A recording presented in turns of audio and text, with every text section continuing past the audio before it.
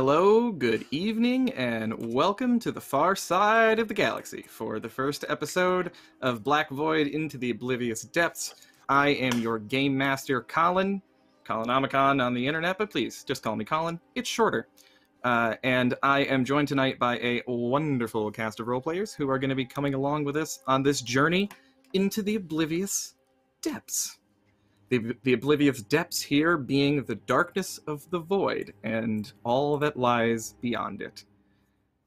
I am so incredibly stoked uh, to have uh, these these people with me. They're incredibly awesome. I have been just buzzing about this uh, about this campaign beginning ever since well, ever since I found out I was going to do it, but also uh, ever since we did, especially since we did our session zero. I've just been like geeking out um, about. Ugh, I don't know. They had such great ideas, um, and they've just they've gotten me so incredibly excited to see uh, to just kind of see them strut their stuff on the galactic scale, if you will, and they will. But before we get into the depths of space, I got a few sponsors I need to tell you about. Uh, here on Weave the Tale, we have been truly blessed with a great lineup of sponsors for this uh, season. Uh, one of which being, get a load of this, Black Void Games, who make this very game that we are bla- about to play, Black Void Games, uh, and its wonderful uh, creator Christopher Sevelson, who wrote this game, who I've gotten to talk to, interviewed him on this channel actually, uh, and is just a super nice dude and it, it, has made this wonderful, wonderful game that is about to facilitate this wonderful journey we're about to go on. Uh, also sponsored by Evil Hat Productions, one of my personal favorite uh, TTRPG companies out there. Uh, one killer thing about them, this is not in the sponsor copy, but this is personal experience. Uh, Evil Hat Productions has a, uh, PDF guarantee. So if you buy a hard copy of their game, if you just email them the receipt showing that you bought it, they will give you a free PDF. No, no questions asked. As long as you bought it from a nice, friendly local game store. They are super nice like that. I just did it for the game that I played with Stella a couple weeks ago. We played Agon. I got Agon from Evil Hat by showing them a receipt from a uh, from a uh, local game store. They were all about it. We are also sponsored by Christopher Grey, the creator of The Great American Witch, which we have here on Weave the Tale on Mondays, GM'd by the wonderful Lydia, Half Arsed Hermit. Christopher Grey also made one of my favorite Powered by the Apocalypse games, which is called The Happiest Apocalypse on Earth, which is a horror game set in a hellish Disney world. And it's awesome. it's an evil Disney Great world game. called Mouse Park. That sounds fun. It's that sounds it's very fun. dope as hell, and you should all So I play it. I won't say Mm-hmm. That I am a former cast member, and I will not say that I know other former cast members, and I will not say that we had a great time, ironically playing that game because none of those things happened. But it was So what uh, will you say, Liv? a ton of fun. um, you should check I will game. say you and I, I will say you and I should talk about this after the stream is over because I too am Let from me Florida. tell you. And I will say that we are also sponsored by Smunchy Games, as well as Broken Dice, uh, Mighty Narwhal Games, Arcana Media, sorry, uh, Arcana Media. We have to work on my pronunciation there. Um, please check out all these awesome games, these awesome companies. They allow us to do all the things that we do here. Uh, and also, we are sponsored uh, by uh, Grinding Coffee, uh, a Black LGBTQ plus owned business uh, that actually has been cool enough to uh, set us up a little coupon code. So if you want to get some kick-ass coffee uh, mailed to your house, all you got to do is go to grindingcoffee.com and use the discount code penny for a tail. Get yourself a little discount on some sweet coffee. So that is uh, sponsors out of the way. Do not forget also that during the show we have our retweet goals and our sub goals. I just went over this in tunnel, but just so y'all remember, we, every time we get uh, 20 retweets, then 30, then 40, etc., etc., etc., you will unlock alternatively a boon or a bane. I will do something really nice, or I'll be a total dick to the cast and make something bad happen.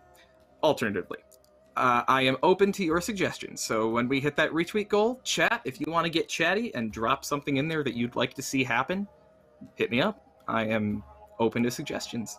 can't promise I'll do everything, but I if something sounds cool, I'm all about it. We also have our sub goals. Every five subs, you will unlock a story event or uh, a help all. Give something nice for everybody. Uh, so that's that.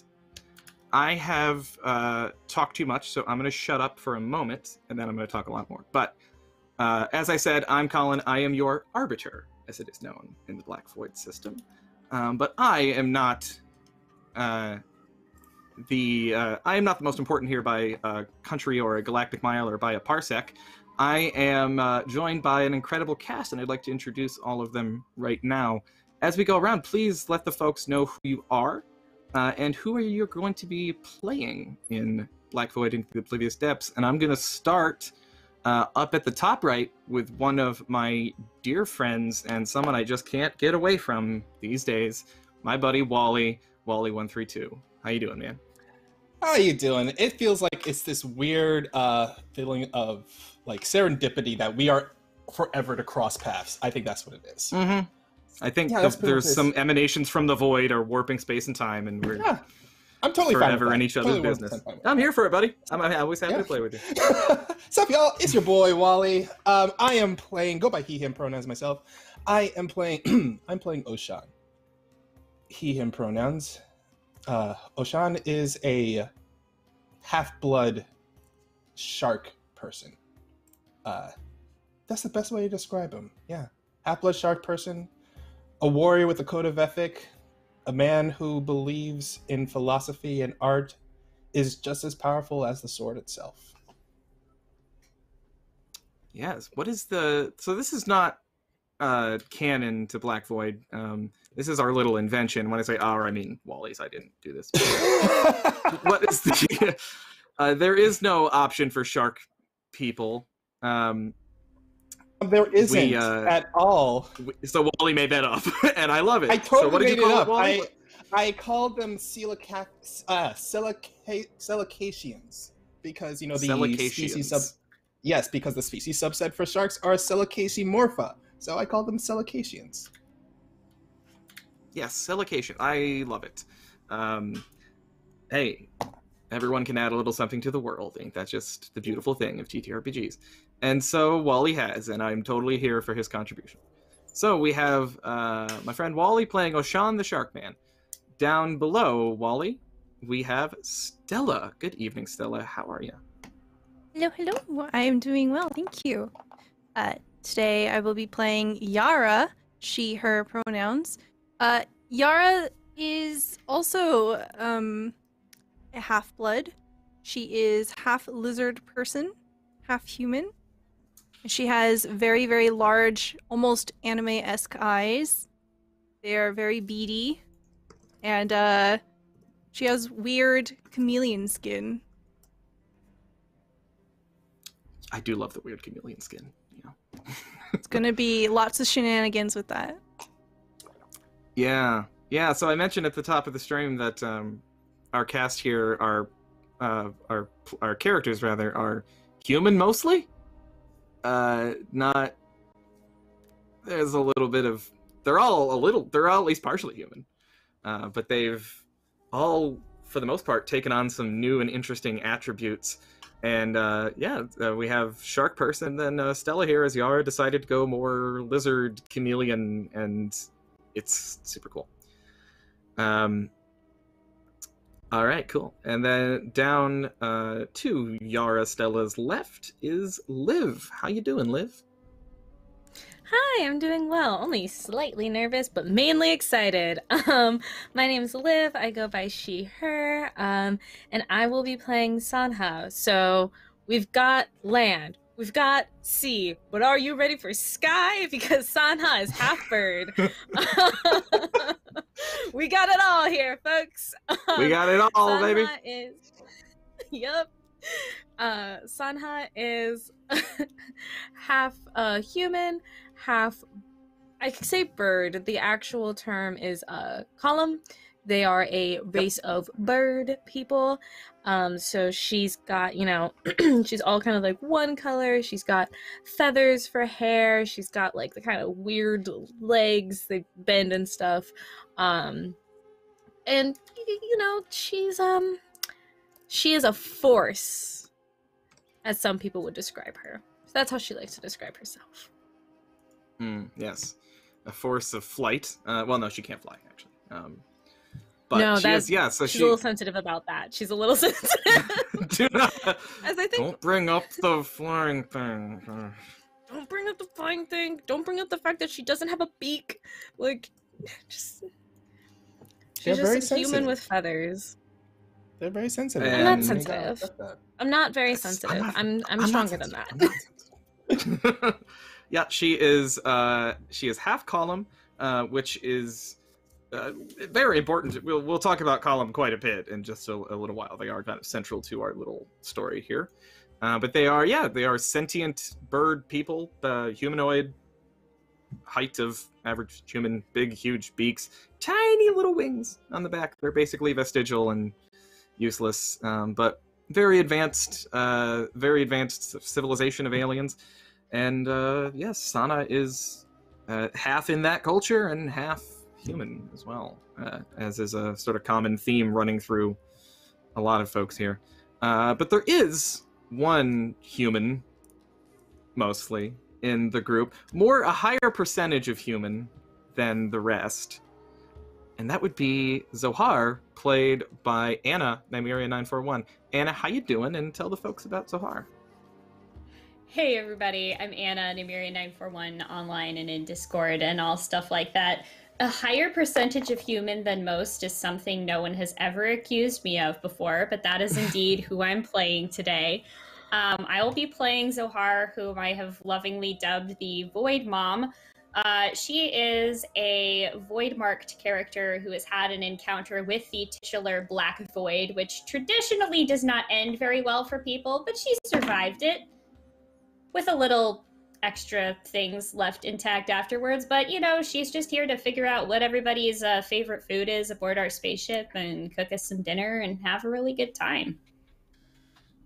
Yeah. We're Yeah, all a so she zoo and she's our keeper. That's yeah, kind distressingly of. accurate. Yeah, Yeah, a that's little the best bit. way to Am I a describe it. Pokemon trainer? oh God! No, because I don't take are you? orders from you. That's true. That's that's. Sanha, That's Sanha true. used sass. It's super effective. uh, I don't need to. Yeah, that's so my new are- Twitter bio. Thank you, Colin. you're welcome. You don't have enough gym badges to control me. Yeah, fair. So yeah, Sanha Zohar just is needs um, more milk with honey in it. It's fine. Z- Zohar is is all human plus a little extra in there. Yep. You're like 110. percent You got there's a little little some sum from the void that has Yep. Plus snuck if in you there. will. Little souvenir, if you Yeah. will. Yeah, sure. That's a way to look at it. A little leftover. Okay. So, with all that in mind, let us begin. we begin with a simple story of four humans. Again, mostly. Four humans, atypical humans, one might say, that live under atypical circumstances. First of all, these humans do not live on Earth, but of course, very few do anymore. It's now outside of living memory when the cataclysm happened.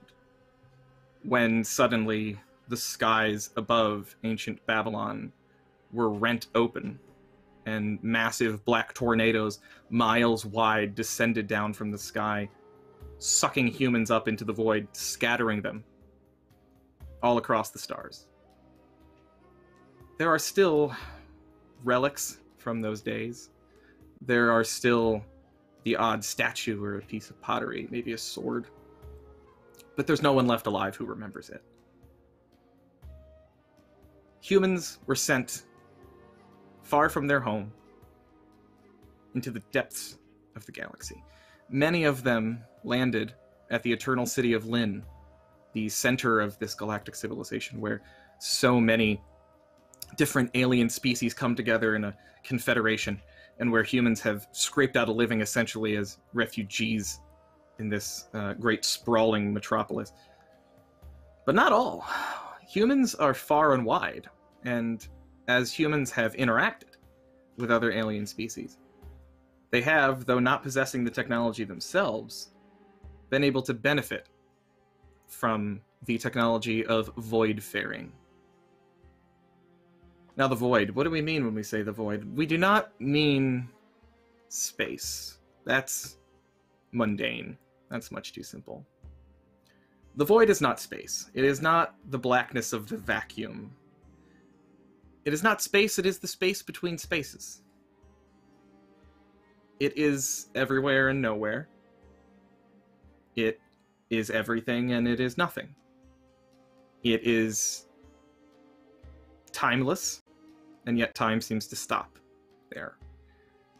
It is a contradiction in every sense. It does not compute to the sentient mind. At least, not a sentient mind born of this plane. The void is. The closest way to describe it would be a, a parallel dimension of sorts. It is another world, but it exists atop ours subsumed within it. They are inextricably linked, and yet they are irretrievably different, contraposed. To get across such vast, uh, such vast distances in space, you can't simply hop in a ship, turn the engine up real hot, and eventually make it there. It's not how it works.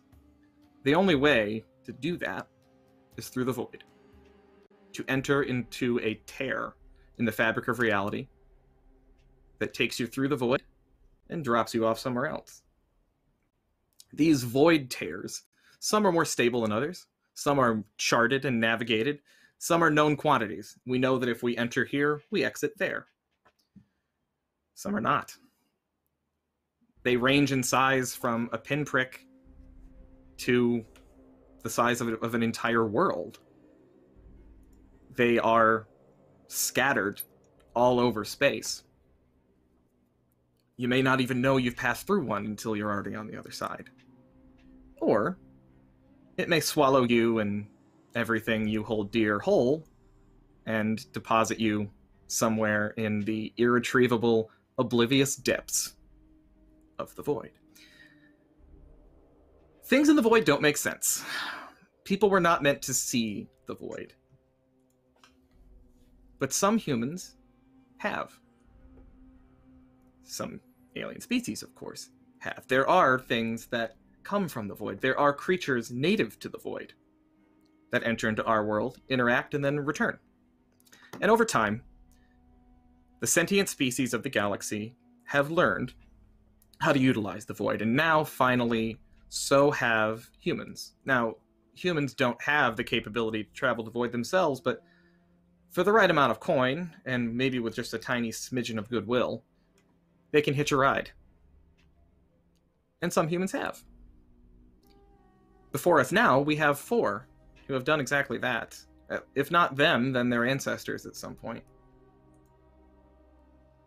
Rent from Earth, brought to the other side of space and time, and now, having traveled through the void, have landed on a little planet called Aniar. Aniar is the homeworld of the Ka'Alum. These sentient bird like creatures with their massive beaks and small vestigial wings. It is their core planet from which their massive federation stretches all across space. Most humans that live on Aniar are not integrated at all into Ka'Alum society. They are, of course, as I said, refugees. They may work and interact with them, but primarily in subservient roles. They are not their equals, as the Ka'Alum are concerned, but they do tolerate them. They allow them to reside on their planet. But there is a bit of hope now for those humans, because the one thing that the Ka'Alum are very, very well known for is their ability to create the finest void faring vessels in all of the known world these void ships are highly prized. And the Ka'Alum are nothing if not business people who are willing to negotiate. Therefore, for the right amount of money, they will fund an expedition. They will allow other species to essentially rent their ships to go out and chart new worlds. The Ka'Alum benefit from this as well. They gain information about these uncharted worlds that may or may not harbor, harbor sentient life, that may have valuable resources, and they sell that information to the highest bid. As it happens, the humans from back in the Kima district of the city of Lynn have worked up just enough goodwill and enough money to fund one such expedition. And so the Ka'Alum, organized as the Tadh Consortium, a family run business that organizes void faring expeditions, has put out a call for four humans, or mostly humans, to join an expedition and go traveling off into space. Their mission, as requested from their human uh, clients, is to find a new world for humanity. Humanity has no home anymore. But with a bit of luck, a hell of a lot of hard work, and just some stupid bravery, four humans have been offered the chance to find somewhere for humanity to call home. This expedition has been organized on the Tadh Consortium's homeworld, the Ka'Alum homeworld, of Aniar. The call went out, locals came, humans came from other planets, all gathered here to put their name in the hat to be on this expedition. The training and the screening process has been brutal. It has been months of intensive training with military like rigor, beating the rules into everyone's heads, exposing them to void emanations to see if they can survive the effects, exposing them to uh, exposing them to high g forces to see if their bodies can maintain it, and also the nothingness of space to see if they atrophy after a short amount of time. Many of these would be recruits have perished, but that was always known. There now remains just a handful as the Tadh Consortium narrows down who will be the four who will go on this expedition. And we begin with the final phase of that proving ground. It's not a uh, not exactly a grueling uh, obstacle course. This isn't Marine boot camp. Actually, this begins in something much more mm, humble. a simple waiting room. The four of you, as well as several others, are seated in a waiting room at the Tadh Consortium, uh, the Tadh Consortium complex on Aniar. The buildings that the Ka'Alum build um, look a bit like giant anthills. Uh, they're rounded, made of earthen materials, with round windows and round doors, but they are built exceptionally so that even though these are earthen mounds, they grow to the size of skyscrapers. Their cities look like massive, sprawling molehills, literal mountains made of molehills that take up entire miles. But this small one sits by a lake, some pristine landscape, rolling arid hills that you can see through the windows. The four of you have been told to sit and wait until your name is called. This is the interview stage. The final questioning to see if you have the mental wherewithal to withstand the void and enter into this expedition. With you in the room are the last remaining recruits who have survived the grueling training you've all just undergone. Some are friends, some are adversaries, some you really don't know. But in this moment, the one thing they all have in common is they're all competition before we begin in earnest, I just want to say thank you to everybody for one, hitting our retweet goal. That will already earn a boon for everyone. That is noted.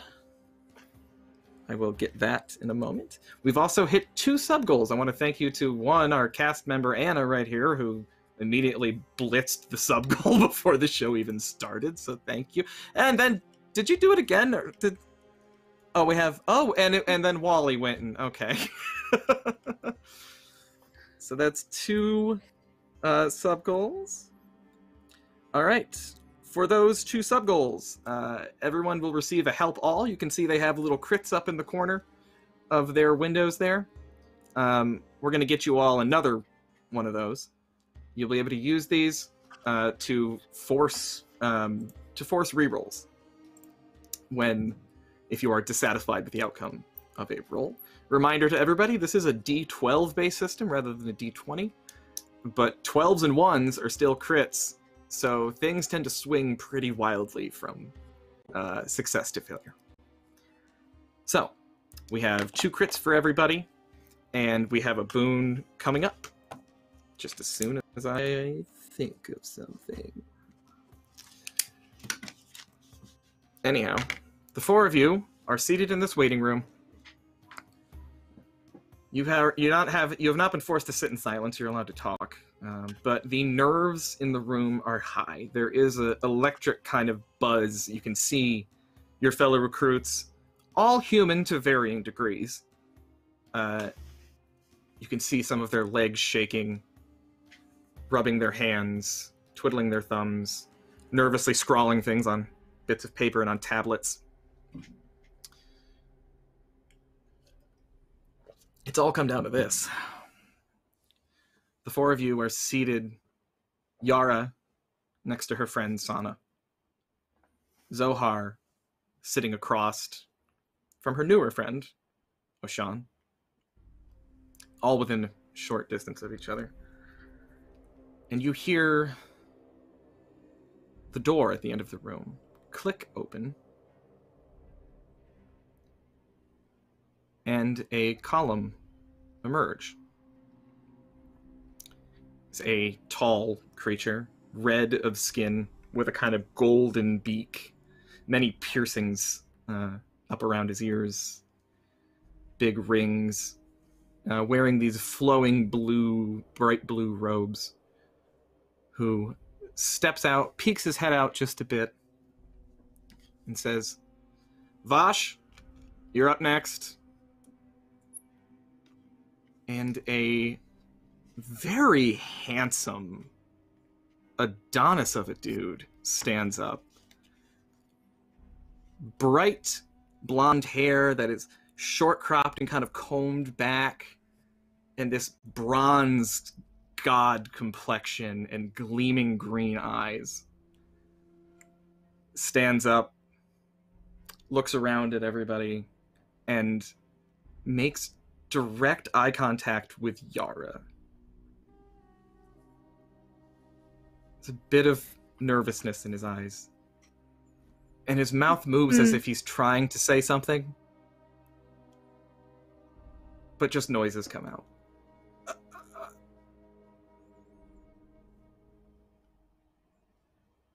What do you do? Oh, um I think Yara is very uh, distracted. She is probably sitting very close to Sanha, going, I believe we should review our notes.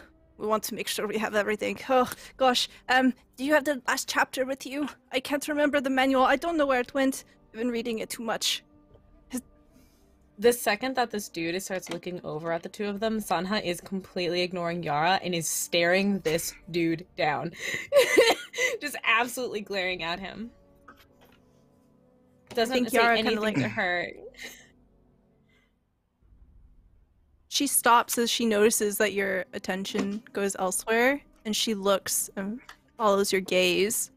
And her skin is kind of scaly, kind of lizard like and she literally starts to turn purple. what are you getting nervous about, Yara? You only do that when you're nervous. I It's him. Who? I don't see if anybody of mark or note around, so who is he? You're right. Spit it out. Never mind. No, no, it, I see no one. I don't see anyone. Um, I see notes, and she just kind of like buries her nose into her clipboard.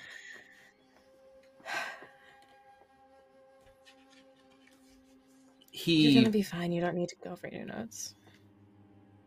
hearing Sanha's unsubtle shade, uh, he looks down and just kind of gives like a rueful sort of smile, just like, okay, and walks toward the door, shoulders back, chest out, triumphantly into the room. The Ka'Alum pats him on the back and leads him in to the room. You know that these interviews take a few minutes, it seems, uh, and he'll likely be in there for the next little bit. But you've also noticed that you don't see anyone. There's been a few that have come and gone into the room. No one has come back out. They all seem to be exiting through some other way. So he goes in, and as he leaves, he gives a look back over his shoulder. Again to Yara, and winks for closing the door behind him. Yara just starts like burying herself behind her book, and she just starts like trilling, like very uncomfortable. Sanha is staring at Yara, but she does not say anything. She just shrugs, shifts in her seat, and just keeps staring and looking and waiting. If Yara wants to say something about it, she will. Yara will not say anything about it. Then there's nothing to talk about, is, is there? Nope. Sitting to the left of Sanha, but to the right of Oshan, is a young man, human entirely, uh, 100%, who you've all gotten to know uh, decently well in the time that you've uh, that you've been in training. He's a nice kid, young, probably not cut out for this, but to your great uh, surprise, has performed quite well, um, despite his constant nerves, uh, always believing that he's a failure, always thinking that he's doing it wrong. Uh, his name is Marduk, and he has been sort of the breakout star for a lot of people uh, here. But even now, at the end of all things, he is sitting next to Sanha, next to Oshan, and he is rocking back and forth.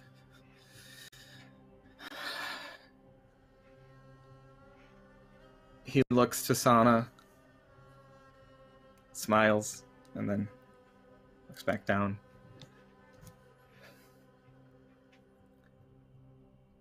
And then turns suddenly, like with a snap of his neck. chair. Oh, sorry. Sorry. no, just can you Okay, stop go ahead. rattling my chair? Thank you. Yeah. he stops instantly like grabs the arms of his chair and like holds himself steady sorry sorry That's better. his neck snaps to the left like in a sudden burst and just turns to Oshan and says what do you think they're talking about What do you mean? What do you think they're talking about? It's an interview. They're not talking about anything. They're asking people questions and we're supposed to answer them. Close your okay eyes. Okay, but like Close your eyes. okay Listen to your heart for a second. Listen to the rhythmic beating of the heart going through your chest and let it go through your body. Focus your breathing. i can't i can't he- hear my heart can you Uh, Oshan cracks an eye open and looks over at him, which is like a black Wally looking eye. yes, I can hear your heartbeat. It is very, very loud. um, he like kind of sheepishly puts his hands over his chest, like trying to muffle the sound a little bit. Like, sorry, sorry, my heart's loud. I, I didn't know Just that. I relax didn't know it was yourself. Just relax yourself. You made it this far. If even if you don't make it, consider it a goal that you made it this far. Not many of us have can have what it takes to make it through this rigorous ordeal and training. Consider yourself consider this a win, even if you don't make it. However, you've been quite the what's how to put it, but uh you've been the superstar during all this, so I don't see why any reason you should be nervous. It is surprising. Oh my gosh. What? What what is surprising, son? What is surprising? It's simply surprising that he has gotten this far with the lack of skills and will and the shuddering and shivering.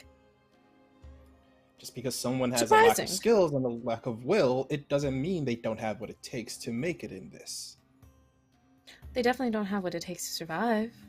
But nonetheless, surprising, impressive, lucky. They all kind of work for him. Sounds like you just described Yara your whole entire comfortably. Pro- like your entire progress during all of this, surprising and lucky. Mm. I would much rather use words like skill, deserved. But go ahead. Oh, I would rather use those words too, skilled and reserved to describe you and your entire process during all of this. I won't, but I probably would. So you admit it. I am extremely talented and I deserve to be here. More so than other people. More so than you.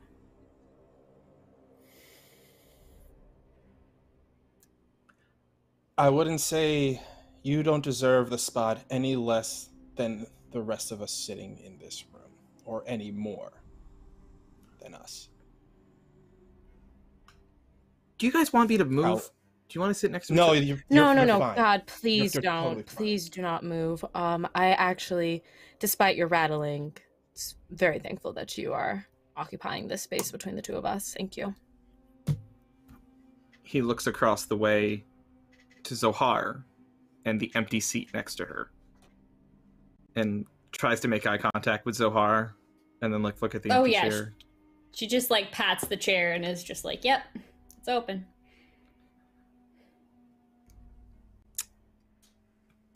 I'm just gonna Uh, just gets up and does like a really quick like his he never even fully straightens out just like bends his knees spins and pivots and lands his butt right down in the chair next to Zohar Oh, look, Oshan, you scared her him and sa- away. Oh, I think it was definitely you. Every single time you open your mouth, it's like a cacophony of noise that people want to get away from. Oh, you know, some people just can't handle it. Intimidation. It's sad. Probably why he won't make it through. If we're being honest here, you do need a certain bit of intimidation in this line of work. And that is something I guess you do have some talent in. Aw. You don't have to be shy with the compliments. Keep them coming. No, that's it. That's all I had to say about you. And I wouldn't even call that a compliment. It was more of a light observation that I decided to say out loud. Well, then He I see no need to thank you. he leans. He turns to what he wants to say whispers. something in retort, and he's like, no. He just goes back to being quiet. he leans he leans next to Zohar and whispers they're they're both like really mean but in different ways it's scary You're not wrong, but uh you don't have anything to be afraid of from those two. Get a good heart, kid. Having a loud heart's way loud better heart? than the alternative. Yeah, it's better than having a quiet one. Yeah, see? I mean, you think anybody Yeah, here expected to actually make it all the way through into this room? I No, of didn't, course that's not. for sure. Of course not. Do you have um do you have like a snack or something? Yeah, yeah. Uh, I would pull out from the uh, little bandolier type uh, thing that I have around my my chest. I've got like a little pouch that's got probably like some almonds or other type of tree nuts or things like that, and it's kind of like at first struggling to sort of untie the things. The tips of her fingers are kind of like metallic and, and clinky. Um, but then yeah, just passes it over. Here you go. Don't eat him Space too Mom fast. always has a snack in her purse. Yeah. oh, thanks. He does eat them way too fast. Uh, just like crunches That's- down hard on these. It's gonna be hard on your stomach, but it's okay. It means you're ready. I haven't eaten all day, so this is. I mean, thank you. Thanks, Zohar. Mm-hmm. Aren't you nervous? Oh yeah. I'm always Can't nervous. tell. Really? Mm-hmm. You've literally never looked nervous to me about anything ever. Yeah, Maybe it's glasses hiding it. I don't know. that's that's probably it.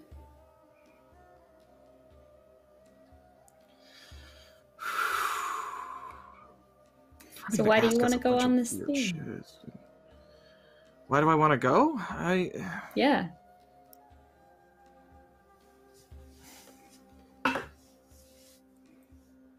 If I said You mean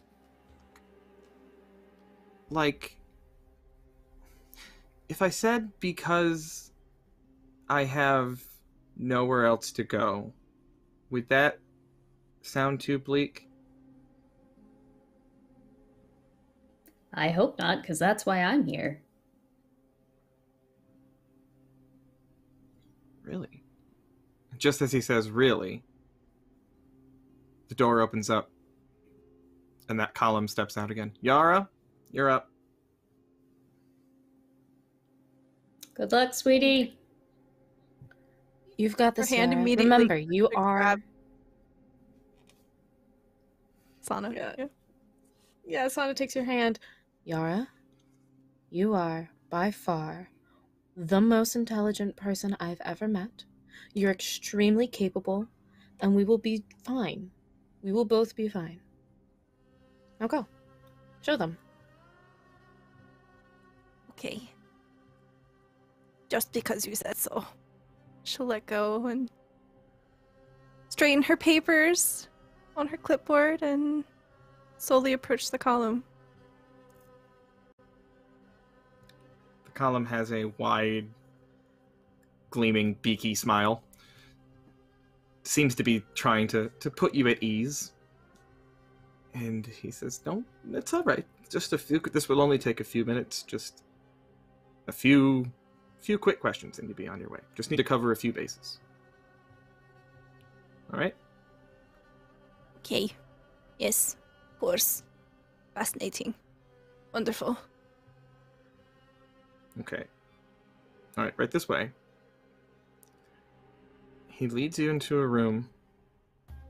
There's a short hallway, and then another door at the end, which he opens. And the first thing you see upon him opening the door is a large desk made of this sort of uh, th- this wood that's uh, native to Aniar, but it is this sort of looks like driftwood, sort of a rounded but a bluish color, um, beautiful desk with these big curved, very organic looking legs, big, wide, beautiful piece, and sitting behind it is a Ka'Alum that you have never met personally, but you know immediately who it is.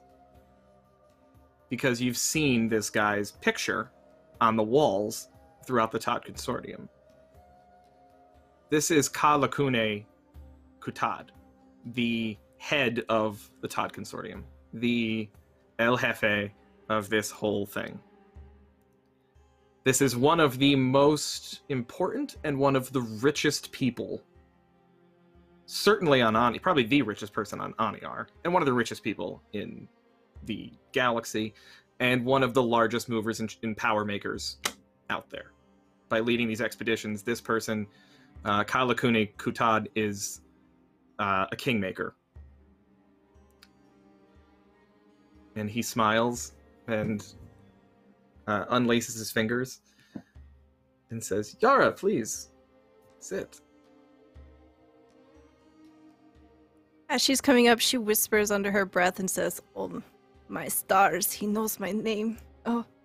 Um, she has, she kind of turns this purplish shade again, and she has these frills. that kind of look like long spines on a lionfish, and they usually lay flat against the back of her head.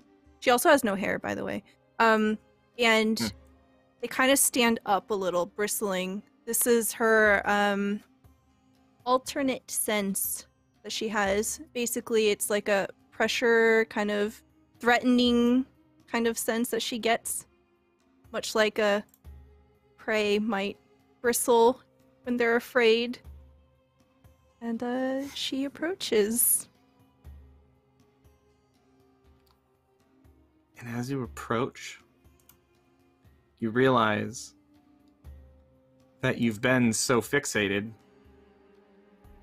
on Kalakune Kutad sitting feet away from you that you didn't notice yet that there's someone else sitting at the desk. There's an empty chair at the front of the desk, and to its right, Vash still sits there. and Kalakune uh, waves to the other Ka'Alum and says, We'll just be a few minutes. Uh, just wait outside. Yes, sir. And the Ka'Alum shuts the door behind him. Kalakune crosses his fingers. Please don't be nervous, Yara. Just a few simple questions. I understand that you two know each other. Vosh is looking toward the window, not making eye contact with you. Yara looked at him for a split second, identified him, and then immediately just honed in on Kalakune Kutad instead. Is that so? Yes, we were in university together. Hmm.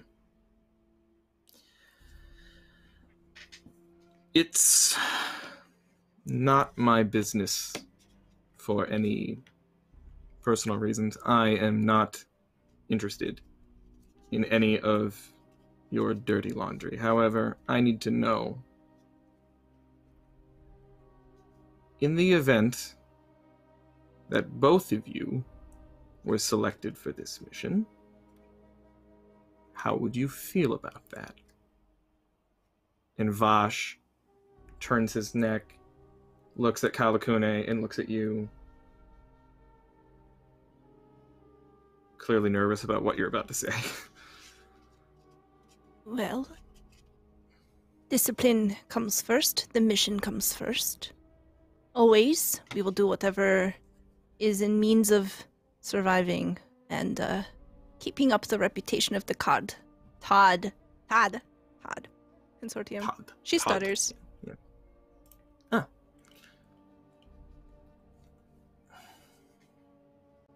That's good to hear. And Vash, again, his lips quiver as if he's trying to say something.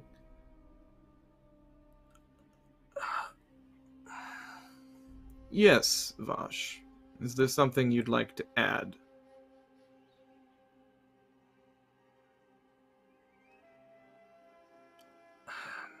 No, sir. I think Yara said it well. the mission comes first. Hmm. Yara, how would you describe your relationship with Vosh here? Yara turns purple again, and her bristles just stand up further. She says, mm. Mm.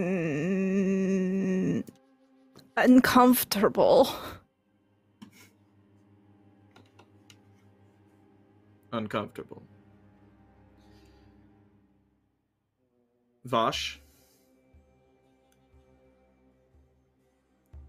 I would agree with Yara's assessment. It's uncomfortable. Yara, why is your relationship with Vosh uncomfortable? We were romantically entangled. And then I broke up with him because he's an asshole. Excuse me, that's really not proper. Vosh, I did not ask for your input. Vosh crosses his hands and folds his hands between his knees and makes himself very small. Sir, it's much more complicated than that. We. We had a tumultuous relationship, and I don't necessarily agree with Yara's assessment that she's the one that broke it off. I think it was more of a uh, more of a mutual kind of thing in the end. I think we all had our reasons here. Um, but again, none of this matters because it will not get in the way of the mission. Hmm. So even with your uncomfortable relationship, Yara, you are confident that if the two of you were crewed together, it would not be an issue. Nor would, and I'm sorry to have to ask, but nor would there be any prospect of a future romance as fraternization between crewmates is strictly forbidden. she just starts laughing. She says, "Oh no, no, no, no! There is no chance. No way, no way. Not, not even a." Excuse me, no. why? That's a bit rude. Seriously? Yeah, I agree. No chance. Not a chance. No way. No hope in the void. Good, good, good. Yara, I have just one last question. Yes.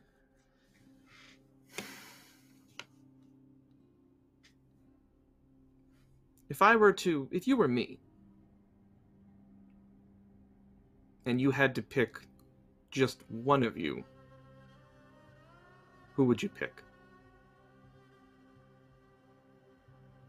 Between me and Vosh. That's right. Well, I would surmise it depends on a number of parameters. What kind of mission is it specifically? Do you need someone with brute force or do you need someone with a strategic mind? I uh, definitely cannot assist with the first, but the second. You've seen my scores. I'm well studied.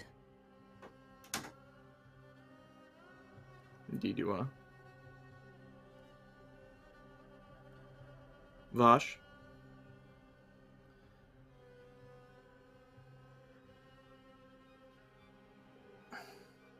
He looks to Kalakune and then to you.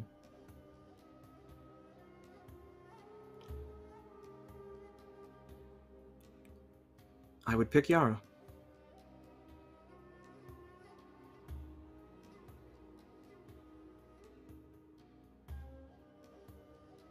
Really? Yes. She's more than capable.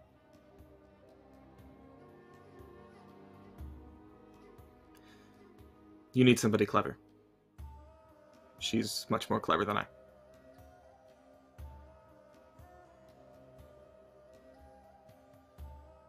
And you see. Actually, you know what we're gonna do? Oh no. Oh boy. our first ever roll. Roll an awareness test. So roll a d12 and add your awareness bonus. Okay. Awareness. Three, it's a plus zero. So 1d12 plus zero, right? Yes. Four. That ain't great. You have reroll tokens. also. Yeah. You have those rerolls if you want to use them. Hmm. I'll use a reroll token. All right, one down. Oh yes, 11. 11. Very good. You catch the slightest little smirk on Vash's stupid fucking face. And you realize this is his way that he thinks that this fake show of humility will get him the spot. He thinks that you're being tested, and that if he pretends to do the honorable thing and vouch for you, it will get him picked. You know this guy pretty well, and this is exactly the kind of shit that he does. Yara doesn't say anything. Jean takes a note of it. She says nothing. She looks down at her papers and reshuffles them again.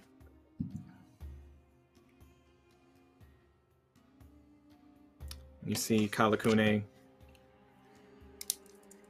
takes a note. Okay. Thank you both for taking the time to talk with me. Vash, uh, there's a door to my left. Please exit through there. Yara, there's a door to my right. Please exit through there. Thank you, illustrious one, for your time and assessment. Yara Illustrious one. bows nervously. Yes, Yeah. and she skirts out the door. She skitters away like a bunny rabbit. Vash leaves first through the door to the left, and the door shuts behind him. He struts away with confidence. Again, shoulders back, chest held high, head up, that same stupid smirk. The door shuts behind him, and as you go to leave, Kalakune offhandedly raises a hand and says, And congratulations, Yara. Or what? Hmm. Oh, that's the door to the briefing room you're about to go through. That's the exit. He's heading back to the barracks. You'll be going to the briefing room. Welcome aboard. Well, thank you. Thank you so much. And she skitters away like a bunny rabbit. The rest of the crew will be joining you shortly. Make yourself at home in the meantime. And you skitter away to the briefing room.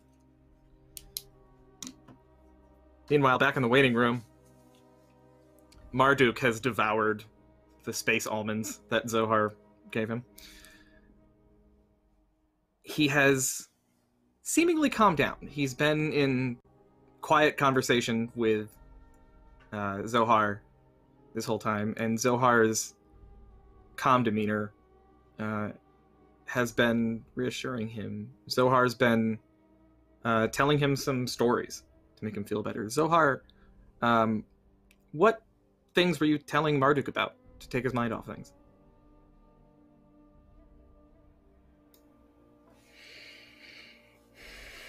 I think I'm telling him just a story about tapping trees in the springtime because that's something that I always like to do. It's something I always like to think about and look forward to. And also, I don't know where this kid's from, but you know, this is fairly exotic. So, probably not something that he's encountered before.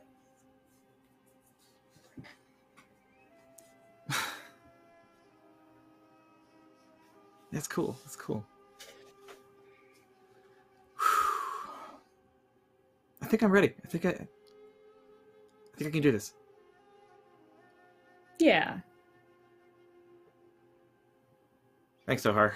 Um, whatever happens, it's been really cool getting to know you, and training's been not, you know, like. I mean, it's been real. Um, it hasn't been real fun, but it's been, it's been cool. So thanks. Yeah, whatever happens back there, just remember none of it was wasted. Yeah, yeah. I learned some stuff that I might be able to use later on. Yeah. You know.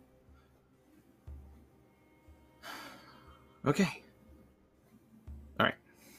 I can do this. And just as he says that, the door opens. Marduk, you're up. Oh my god, I can't do this. I can't do this. Go Oh get my him, god. kid. Uh, You're gonna be fine. You'll you'll be fine, Marduk. Just remember, 15 minutes of hell and it'll be over really quickly. control your breathing and you'll do fine.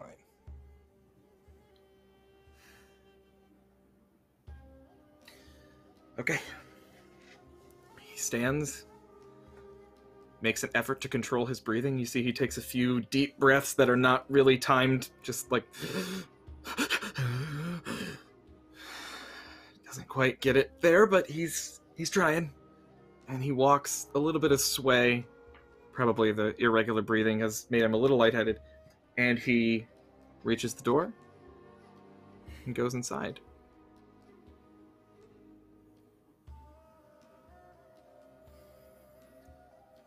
Here's hoping the best for that kid. Yeah. We all know he's not gonna survive, right? Honestly, I don't. think he has what it. I don't think he has what it takes to make it out there. Oh, I wasn't even talking about the mission. I meant the interview.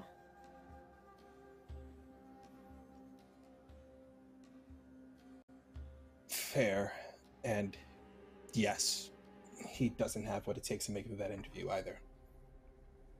Sweet kid. Honestly, though. I think he either Very will nice. pass out before. He, I think he'll pass out after he has the first question is asked to him.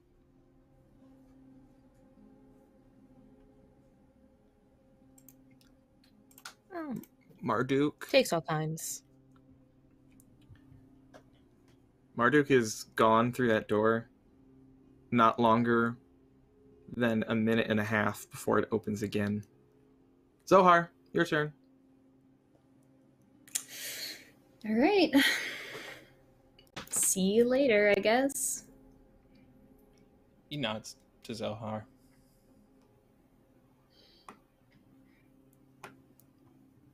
The Ka'Alum greets you at the door and leads you, Zohar, right this way, leads you to that same office. And you see just as the door opens and you enter, the door, there are two doors behind the desk. The door to the left is just closing as you enter. And you see, again, someone you've never met, but you know who he is Kalakune Kutad, seated at the desk. He respectfully stands as you enter and reaches down and picks something up off the floor and throws it in a little bin, just like it looks like a piece of paper or something. He just chucks in a bin to the left. And he has this look on his face of, wow. Please have a seat, Zohar. Yeah, she will.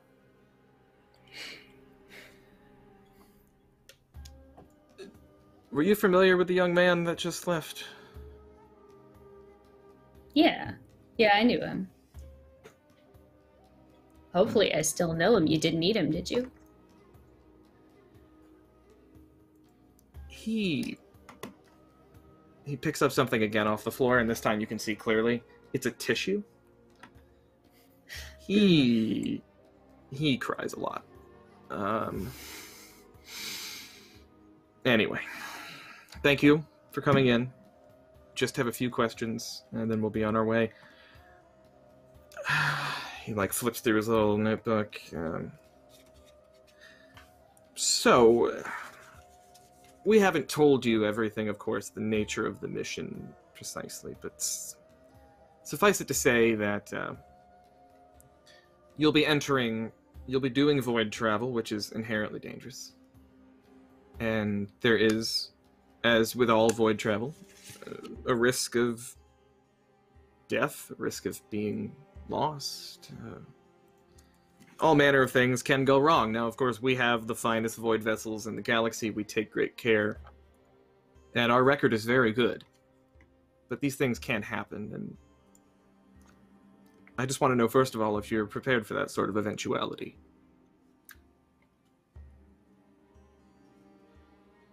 Maybe a little more prepared than most. Yeah, you could say that. Why would you say that? Mm, because I'm still here. I've seen it. The way you're not supposed to. The void. Mm-hmm. Yes. That is of interest to me. What are your thoughts on the void, Zohar? Do you fear it? Yes. I think any Hmm. reasonable person fears oblivion. Well, if you've seen it, you know it's it's it's much more than that, isn't it? So much more.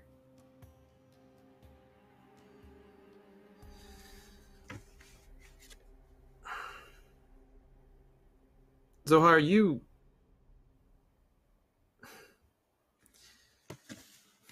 I'll be honest with you. I am skeptical. We Ka'Alum, and please don't take this the wrong way, but we Ka'Alum have been sailing the void for millennia. And we are well acquainted with its operations, and even we struggle with it. Witnessing it often does terrible things to the mind.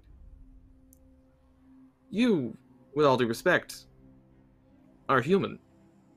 You've had your species has has very little exposure to the void in your short time on the galactic stage. And you seem to be you personally seem to be highly functional for someone who claims to have witnessed it. What do you have to say to that?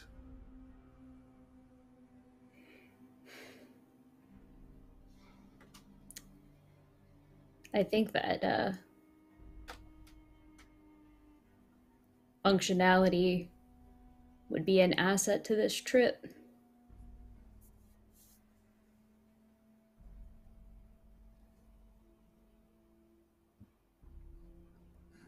True. It hasn't really brought me many good things in life. This could be good. What has the void brought you then?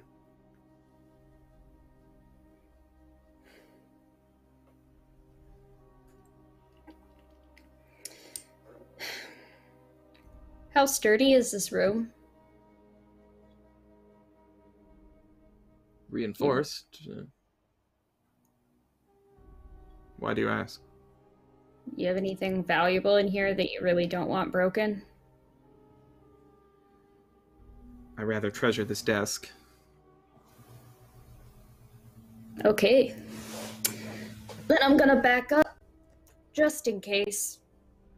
And she gets up from the desk, walks all the way to the back of the room, sort of like opposite direction from where the Ka'Alum is. Probably nothing's gonna happen, but there's always a slight chance that it will.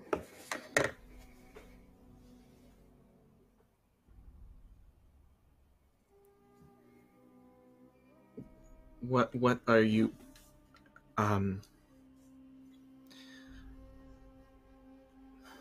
What are you trying to What are you what are you trying to do, Zohar? Hey, yeah, I feel like now would be a really good time for you to show up. Hello.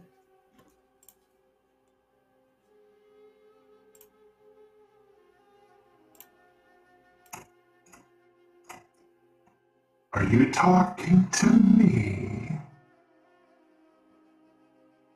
Yeah, hey, it's been a while. Uh, do me a favor What and just uh, tell my friend here a little bit about what it is that you are and what you do inside of my head.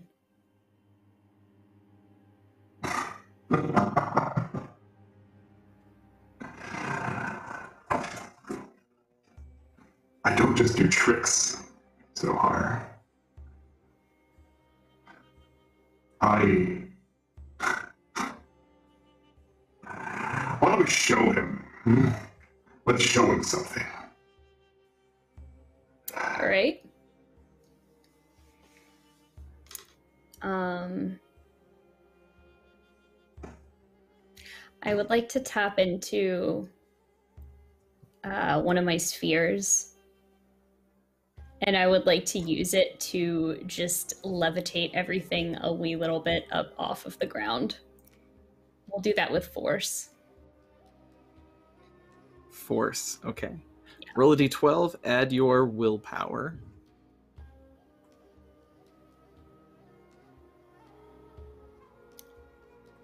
Okay. I have a plus one because this is something that I have done before. Nothing too terribly fancy. 11. Beautiful.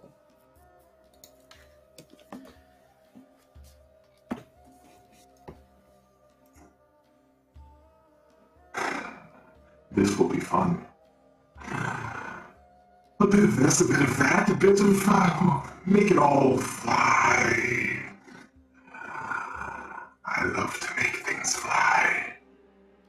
Just be gentle with the desk. He really likes it. You are no fun and you never have been. Away we go, Zohar. In to the void again, you and I. All we need to do show this stupid, ignorant being our power. As the desk and the chairs and the Ka'Alum himself begin to float. And not only float, but spin.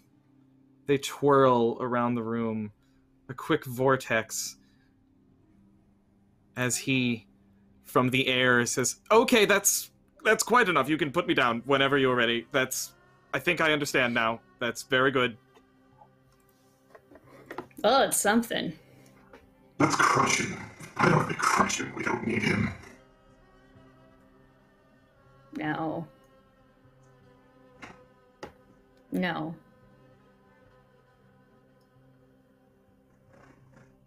One day,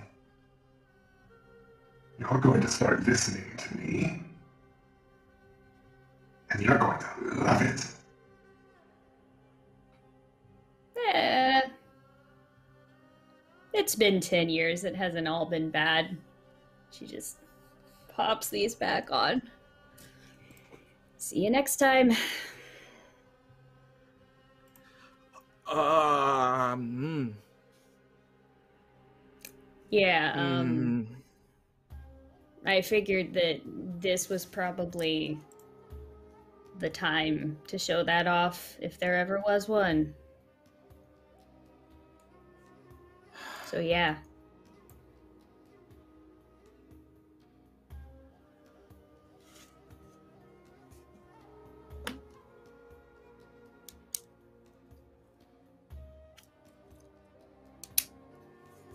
You said you had a couple other questions, I think. That was just one. door to my right, please. That way. Thank you very much for your time. Welcome aboard.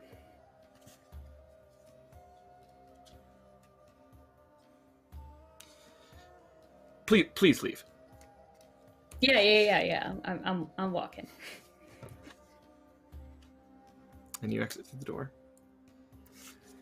In the office, Kalakune scrambles pages around. Some things were tossed in the vortex you just created, and he sees that he has only two two papers left on his desk.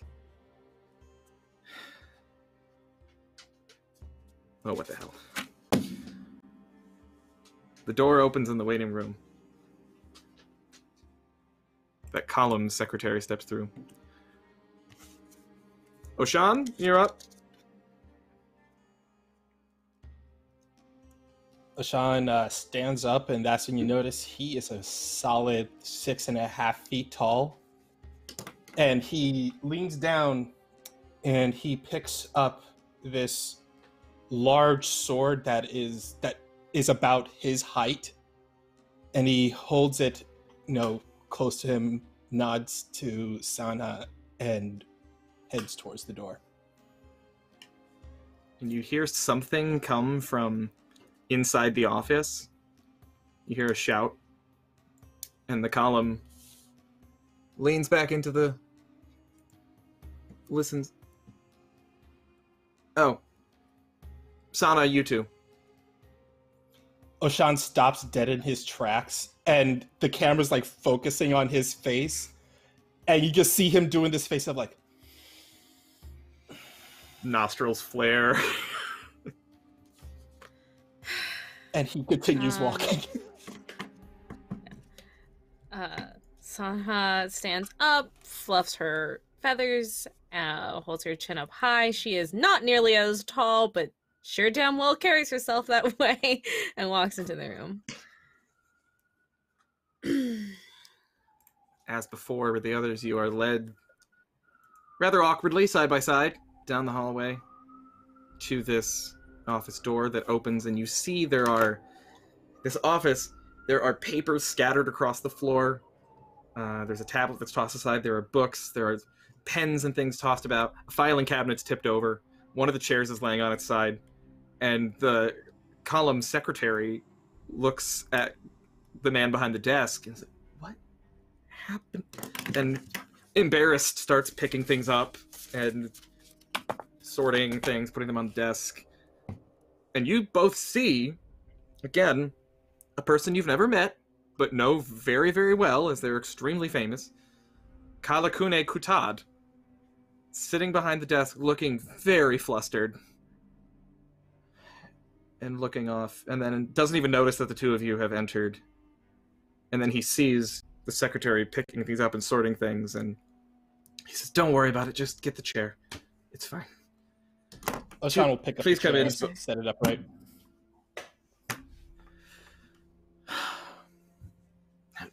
Point to the secretary. Go, leave us. This will be quick. Okay. Are you okay, sir? Excuse me. Um. Yes, thank you. Sanha looks down at his papers uh, to make sure he got the name right. Sanha Yes, yes. and Oshan. that is correct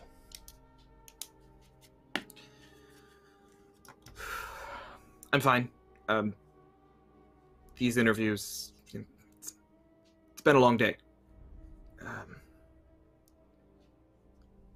but as we now are at the end of it, now would be a good time to speed things along. So let me just be very frank with the two of you. You two are top of this class. I mean that literally. By your marks, you are first and second. Who's first? Sorry, my apologies. I was told that you would ask that. whoever told you that was correct Well, clearly I demonstrated it. I'm not going to tell you who's top. Mm. Both of you are exceptional candidates. And both of you deserve a spot on this crew.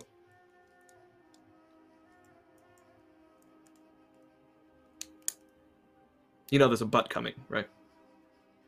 Yes. That's what I'm waiting for. But I have been told by your instructors and by everyone else that I have asked, including your classmates, that the two of you do not play nicely together. Would you say that that's true? Um, I I would say, That perhaps Sean. maybe. and I have opposing personalities. We have yet- different worldviews. And yet, magnets need opposing poles to work together as a unit, and oftentimes, positives and negatives, oil and water can mix. Sometimes those who uh, have these opposing worldviews. Mm. Those opposing worldviews, sometimes those opposing worldviews can help for better solutions and arguments. Yes. One covers what Yes. others lack. Shortcomings, yes, it, it is a situation where people will feed off of their flaws and make their put those flaws into the light and show exactly where they cannot succeed at and the other person can catch up and fill in whatever they failed at It's just, you know, Mr. Oshan fancies himself a martial man, and um, still a sword must be struck to be a sharpened blade. And I like to think that is what I can do. I feel that Sanha, she is amazing at the fact that she can speak her way out of any situation. And she is amazing at. oh, I'm sorry, I felt something come up there. I f- am surprised that uh, she made it this far on her pure uh, auditory skills alone without That's- demonstrating her martial skills. And i believe that is a great a great asset to any crew. Someone who can talk their way out of any situation and put Oratory others- skills, leadership skills, high marks, a robust education. she's good at making people human shields And, you know, there is something to be said about a fantastic human shield. Thank you, Oshan. What a beautiful way to highlight your abilities.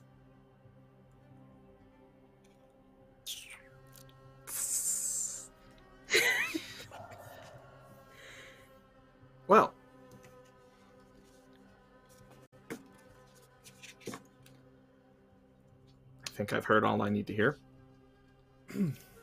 I was going to ask you if you two thought you could work together, but interestingly, you sort of proved it.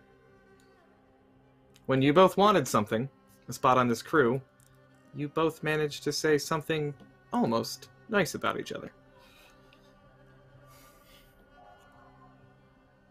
So you can set aside your differences. Yes. S- suppose we're good at that uh suppose we could set aside our differences once in a while I am a very I'm I'm very confident in my abilities. Uh, Mr. Tadh, I, I will not sit here and talk, you know, dance around that. That being said, I'm also very aware of my flaws. And why don't, you, why don't you name a flaw what, what's, what's one of your flaws what is one of your flaws what is one of your flaws martial capabilities. Um, Uh, last I checked, you were actually very good at you were very good at hand to hand combat. Um, last I checked, so it's obviously not your martial capabilities. I I, mean, I'm you know, I would, I would say that you are better. I would say that you are better. I am. There it is. As you were saying, Mr. Hod. Oh, Sean.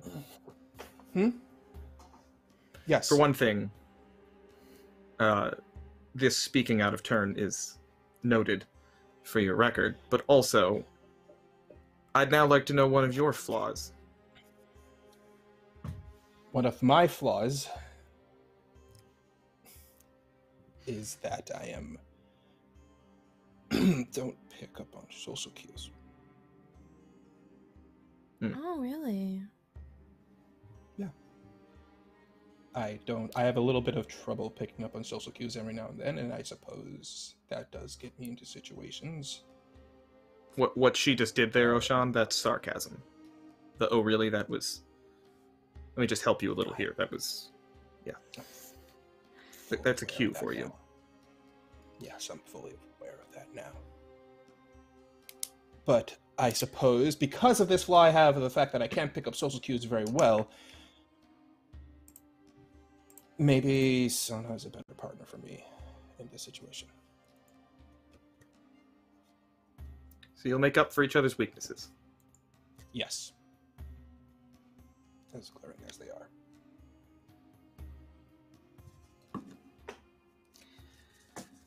Very well. Congratulations to both of you. Welcome aboard. Thank you, sir. Thank you. Two things. Three, actually. Four, actually. One, I'm not going to As- tell you, As many. nor nor. I have several. Just you wait. I'm still not going to tell you who's first and who's second. You'll have to work that out between the two of you. You'll have to do that quickly, also, because your crew is to designate your own crew commander. I don't want this to become blood sport, but you will have to decide. Third, I guess that was second. Uh, you will have to exit through this door here to the briefing room. The rest of your crew is waiting for you. And finally, that thing you said about magnets, Sanha, opposite poles. Um, I'm not terribly versed in your human idioms, but I believe the saying is opposites attract.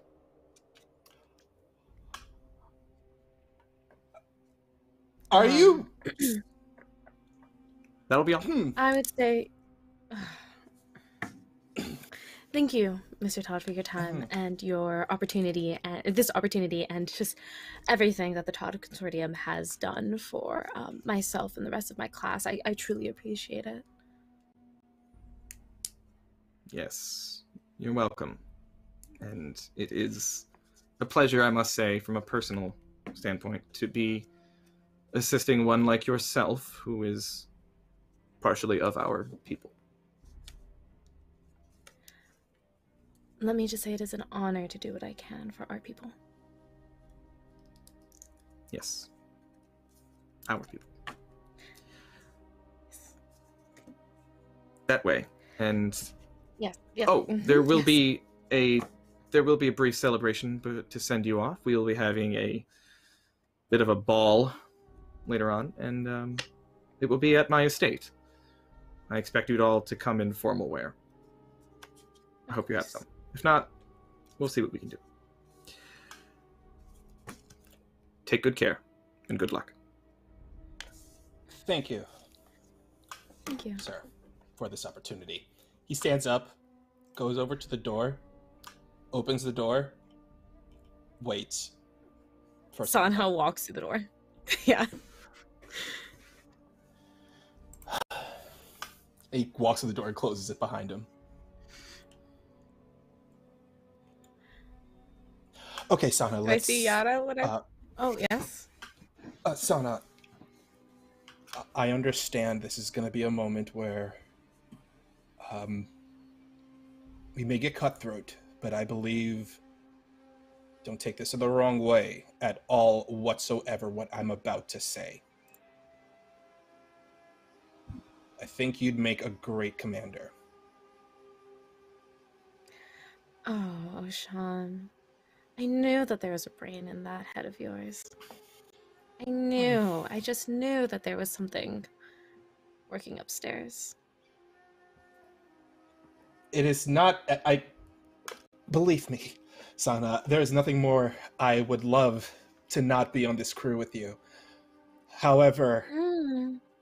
I believe the only way we'll get through this is if we try to be somewhat civil to each other.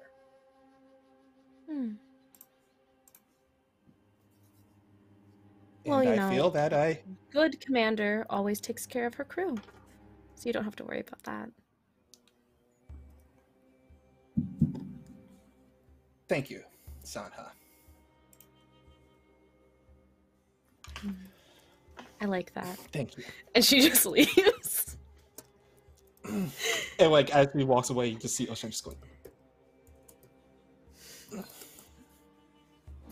Um, and the second she sees Yara, she runs over and grabs her hands. It's just like, okay, what did I tell you? What did I tell you? Am I ever wrong? So as you enter the room and see and see Yara, you run over, grab her hand, and you snap Yara's attention away from. And this is like a little conference room. There's like a long Uh-huh. table, a couple chairs. There are some like snacks and beverages laid out. Um, and Zohar and Yara have been in here the whole time, and it's like one of those horrible fucking um, like uh, corporate training videos is just like playing on loop on a screen at the end of the room. So, uh, so Zohar and Yara have heard a million goddamn times this same exact looping, uh, the same exact looping um, thing that is just uh, where did I put- it just keeps saying over and over again. Welcome, welcome to the Tadh Consortium. Welcome to the Tadh Consortium. Our purpose is to explore new worlds in the pursuit of resource laden and abundant worlds to colonize. Our tutoring will help you learn policy and practice in your role as a Tadh Consortium Voidfarer. During the final stage of your training, you will be assessed for all of your skills and allocated to a crew based on your abilities. Each crew is assembled to enhance each other's strengths, as well as account for each other's weaknesses. It is our belief that success is built on collective efforts toward our objective. Our goal is to satisfy the needs of our patrons and possibly make the cosmos a more friendly and civilized place, one discovery and one new planet at a time. As you head off into the void for your first mission, please do remember to observe the following rules. Please keep all equipment in its proper location and neatly stored away. You are representing the Tadh Consortium at all times. Act accordingly and with tact, and with diplomacy when interacting with any sentient species. Keep to the assigned destination list unless there is an emergency situation. All deviation from the charter must be logged and will be investigated. Specimen collection needs to be done properly and stored away in a sealed room for further study once back at headquarters. Finally, do not allow any unsanctioned persons aboard the vessel or to travel with you at any time. This has been a message from the Tadh Consortium.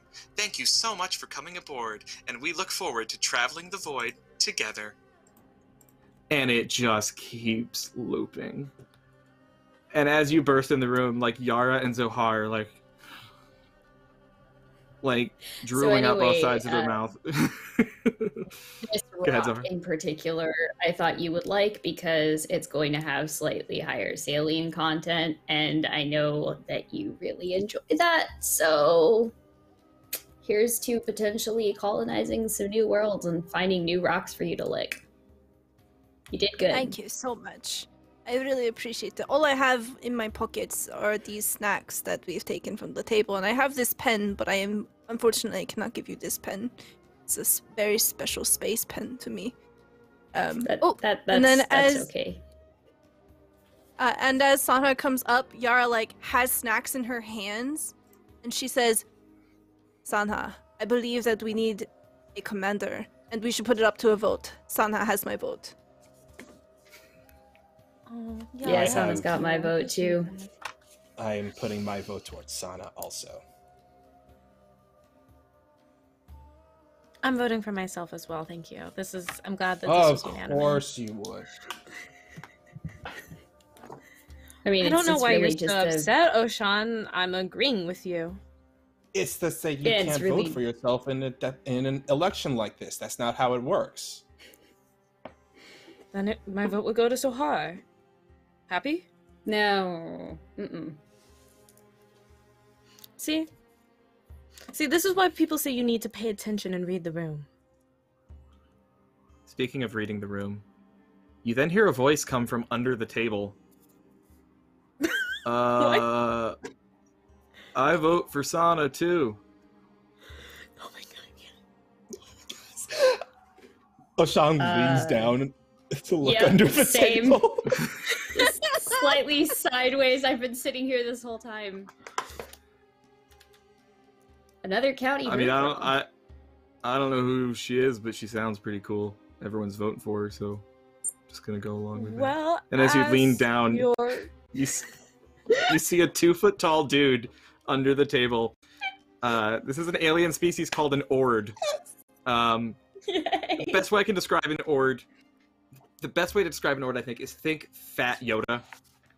Um, it is a tiny little dude, short limbs, uh, short arms, short legs, a very big round body, um, very thick, green skin, slightly goblin-like. Um, but this guy looks old and he's like kind of wrinkled, and his face is kind of scrunched up. And he's wearing these like seemingly like clothes that looked like they were nice once, like well made, um, but haven't been cleaned in a while. And it's just now that you notice that like the weird smell in this room has been coming from that guy the whole time. There's this kind of crusty, mildewy smell uh, that's just been there. It's like mildewy mixed with like strong scent of like burning herbs, and he just looks up. Um, I think it was uh, Zohar leans down, um, and he just goes, "Hey, yeah, I've been here the whole time. What's going on?" When you say the whole time, do you mean like they forgot about you in here? Yeah, people do that. Are you? you- know, I get lost. I'm small. I mean, So you can stand at the table if you want, but we have food if you're hungry. Oh, I mean, I kind of liked it. You know, like this little like roof over my head. It made me feel kind of safe. It was nice. But uh, oh, we got snacks. I'm kind of hungry. Yeah, all right. Yeah. Climbs up on a chair and climbs and stands on the table. Oh, space almonds. Right on. Cool. space almonds. Space almonds. Spalmans, if you will. He's clearly not from good. this planet. They're just called almonds here, but don't make a big deal about it. It's fine. So, So, uh, I'm uh, Zohar. Okay, so you're not the Yara. one. Who did I vote? Who did I vote for? I said Sanha. That one. Sanha? Hey, I don't know you, but you look like a good commander. Yeah, got a good vibe about Thank you. you. Sanha, Thank you. How perceptive. should I change Yeah, my vote? yeah. You voted for Zohar. Should I also vote for Zohar? No, no, no, no, no, no, no, no. You voted perfectly. You you you made. Well, then the it's right a tie. choice. Wait, no, I voted too. So, Hmm. I'm commander, I mean, and as your commander, We're um, okay as who- who long as? I don't vote for myself. like, do we have? We're still missing one. So, like, do we have quorum? I don't know what quorum means. Is that what quorum means? I don't know. Quorum uh, refers to enough people to have a vote, and if this is a group of six and we have five out of six people, then yes, we do have quorum. See, that's okay, well, I'm still voting. I'm still voting for you. I'm still voting for you because you know what quorum means, and I think that you need that in a commander. Yeah. Thank you. Who are you? Oh yeah, sorry. I'm Weaha. Weaha. Weaha. And Yup, you yeah. do what? Oh man, I'm your navigator. Yeah. Yep. You're the You're navigator. Tell us where to go. Oh yeah, best in the business. Been hmm. sailing the void for centuries. Well, it's a pleasure to meet you, Weaha. I'm Oshan, and he holds a hand out to him. Centuries? Oshan. That's correct. I like the way that one feels, man. Tight. We're gonna be friends. Nux. Nux. And he pounds it. Ow. Ooh. That's a big fist. Okay. And you are our navigator. yeah. So wait, how- you said you've been traveling the void for centuries, as in you've been exposed to the void for centuries, Mm-hmm. Yep. And they're still letting you take ships out? Yeah. Hey, void exposure does stuff to your brain, but uh, No, I'm aware. yeah, but hey, there's um, there's always ways to to fix it, man. I found you know I've got some medicinal remedies that really help. So I'm also here to take care of y'all. You know, like the void, it can get a little, it can get a little weird. So you know, I'm I'm here to I'm I am a support for all of you, and I, I'm happy to to help uh, with everything I can to make sure you get through it okay. Just, I guess, like first and foremost, like, like don't look out the windows. Like, do not look out the windows, like ever. Tight. All right. Seriously, don't. You don't want that. I, I It's- it's wasn't part of planning on basic it. training. Yeah, Yeah, but like, okay. So, this is y'all's like first time doing void faring. You know what I mean? And they always tell you in training, don't look out the windows. Like I know that's like day one stuff, but uh, someone always tries to do it, and and it's it's not good. And then you get you get a case of the skull shivers. You know what I mean? It's nasty. Yeah. Not really an experience I want to repeat. Oh yeah, you stink a void, man. Sorry, that's kind of rude, I know, but like you got a whole thing around you. Yeah, that Trust me, I know. I've been around a That's lot. though. You seem chill. Yeah, mostly, I guess. All right, so, and he like grabs another fistful of space almonds. He's like, "All right, so let me tell you who's not chill. There's one other guy that's gonna be on the crew. Actually, a lady. Mhm. Uh, she sucks. Just sucks. But they're gonna What make her come along because. What do I mean by she sucks? Yeah. Okay. Think of someone you really don't like. I have a list. I got quite a few people I can think of. Yeah. So like that, but shittier, because she sucks. Is there a particular thing that she does? Is there something that we should be aware of? All right, you didn't hear this from me, but Mm. she is a narc, man. Total narc.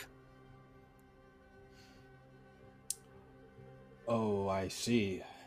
And Mm. she, I'm guessing, gets in the way of your extra activities. Oh Or no, she doesn't care about that. I, I. I do tons of drugs on the ship. That's fine. No, it's uh, it's the fact that she like, she's reporting everything she sees back to HQ. She's like a she's like a Ah. human security camera. You know what I mean? She's like Mm, the yeah. The Tadh Consortium um, representative on ship. Exactly. She's a Ka'Alum, of course. Uh, Mm. her name's Na'Vari, and she'll be all cool to your face. She'll be super nice, but trust me, she sucks. Awful. I'm a I've fan know of the people type. like that. I'm very well Mm. aware of them. You'll probably see her at Seems the like ball she tonight. would. Seems like she Seems would like be the what? type to have uh, quite a bit of information that we can rely on. Oh yeah, no, she's like she's wicked smart. She knows all kinds of stuff. Uh, probably knows more about the Tadh Consortium's uh, roots and all that stuff. I mean, when I get navigation data, I mostly get it from her. You know, she holds the keys to the kingdom, so to speak. But uh, uh, I just don't like her. I don't trust her. But she's gonna be on the crew, so we're gonna have to learn to live with that. her. I know, right? Yeah. Hmm, Well, So I hey, Oshan. Like it, so. For letting us know. I Thanks, do Oshan. appreciate that. Yeah. Oh yeah, hey, listen, when we're uh when we're out there, you know, sailing through the void, you can always come hang with Weaha. You know, I'm just trying to get along. Uh I I'm under orders to listen to the commander. So uh as long as the commander's orders don't directly contradict Tadh Consortium protocol. But Hmm. I mean what I don't know won't hurt me, you know what I mean? So, True, but I, I don't think that you would have to worry about that. The Tadh Consortium is the whole reason why you're here. Their expectations are reasonable, and um, we'll be fine. It's mostly reasonable. I never liked the one about how we can't pick up hitchhikers, though. I mean, I just always thought they'd be kind of cool. But getting big But I mean, the that. planets that we're going to aren't inhabited, so that isn't something that we need to worry about. Not inhabited that we know of. Could be. Mm, true. That's the cool part. makes an excellent point there. There will probably become a time where maybe even between planets we will have a chance to pick up hitchhikers. Not that we will.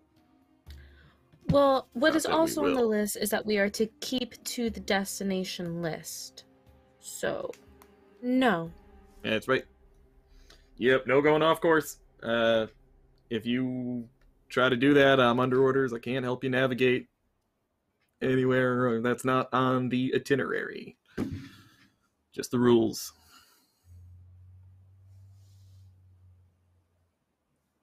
That's all. Well, Weaha, I, I think you're going to be an excellent member of this crew because, as they say, every member of a crew is to make up for what the others cannot do. And I believe that's big help to just being a well-functioning machine. Yeah, and you're you're super tall, and like I can't reach stuff on high shelves, so we I am, are I am making very up. tall. Oh, Yep. I'm much very bigger You don't feel like that. oh, over? Sean, good for you. I think she's being sarcastic. I'm not good at she is being sarcastic. She, she's. I, I, I have difficulty also, and she is being very sarcastic. Get used to Yeah, it. she's she's being sarcastic. Wait, I like that, Are you though. coming to the ball? Am I coming to the ball? yes. You know, I was thinking of skipping it, but if y'all want me to come, that might be fun. Well, you're a member of the crew. I would see no reason for you not to come. Yeah, but you know, these functions are usually because it's like new crew of people, first time going in the void, want to try. I mean, I've done this a bunch of times, so it's nothing new to me. I've been to a lot of balls. I, you know, I dance at a lot of weddings, as they say.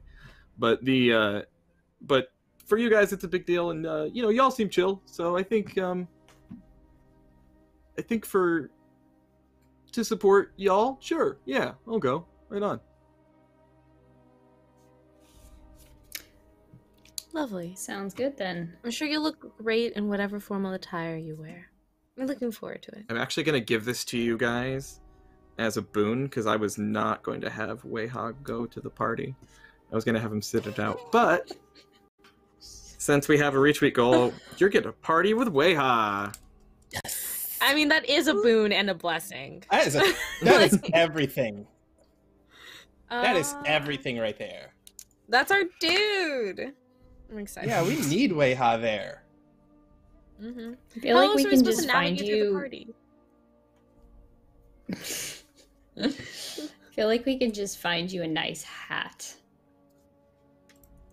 I like hats. Yeah, cool.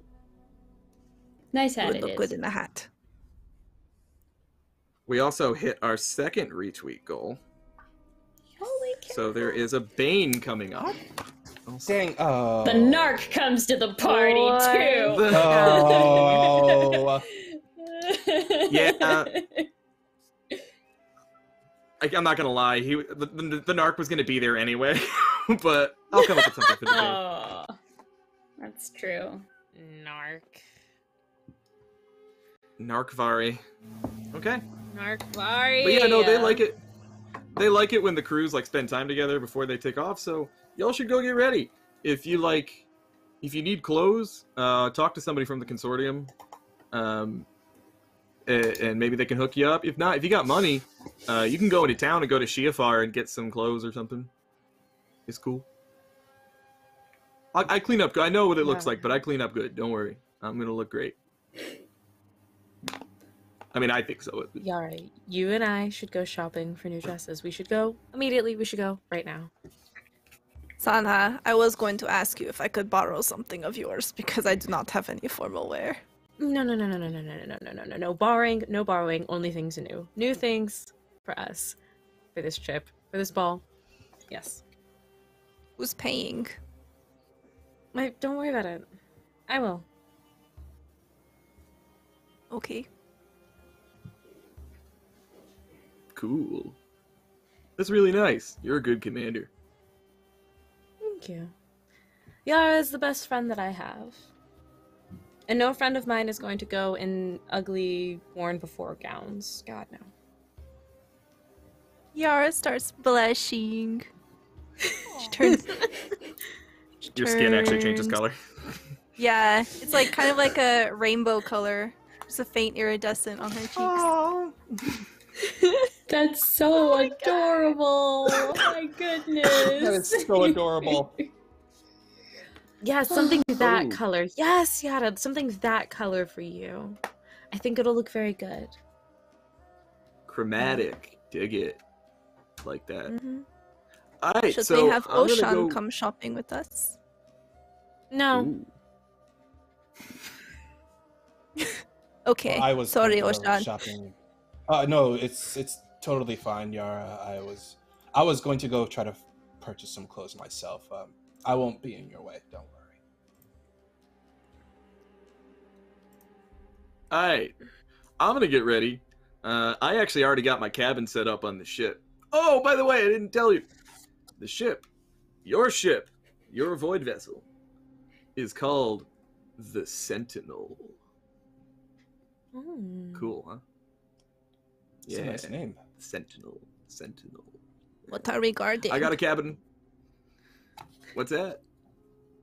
Sentinel. What are we guarding?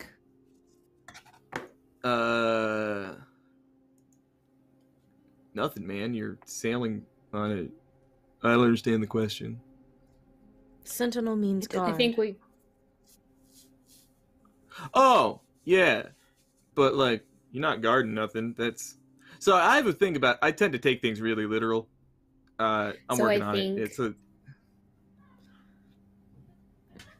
I think maybe what it means is we're kind of guarding the future.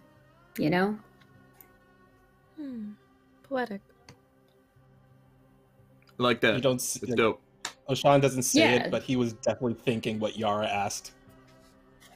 He just did. He was. He was very so Hart nervous to clocked that. yeah, yeah, yeah. No, she's just like, okay, we've got no sarcasm, very little. So it's like, yeah, I, I think we're, I think we're guarding the future.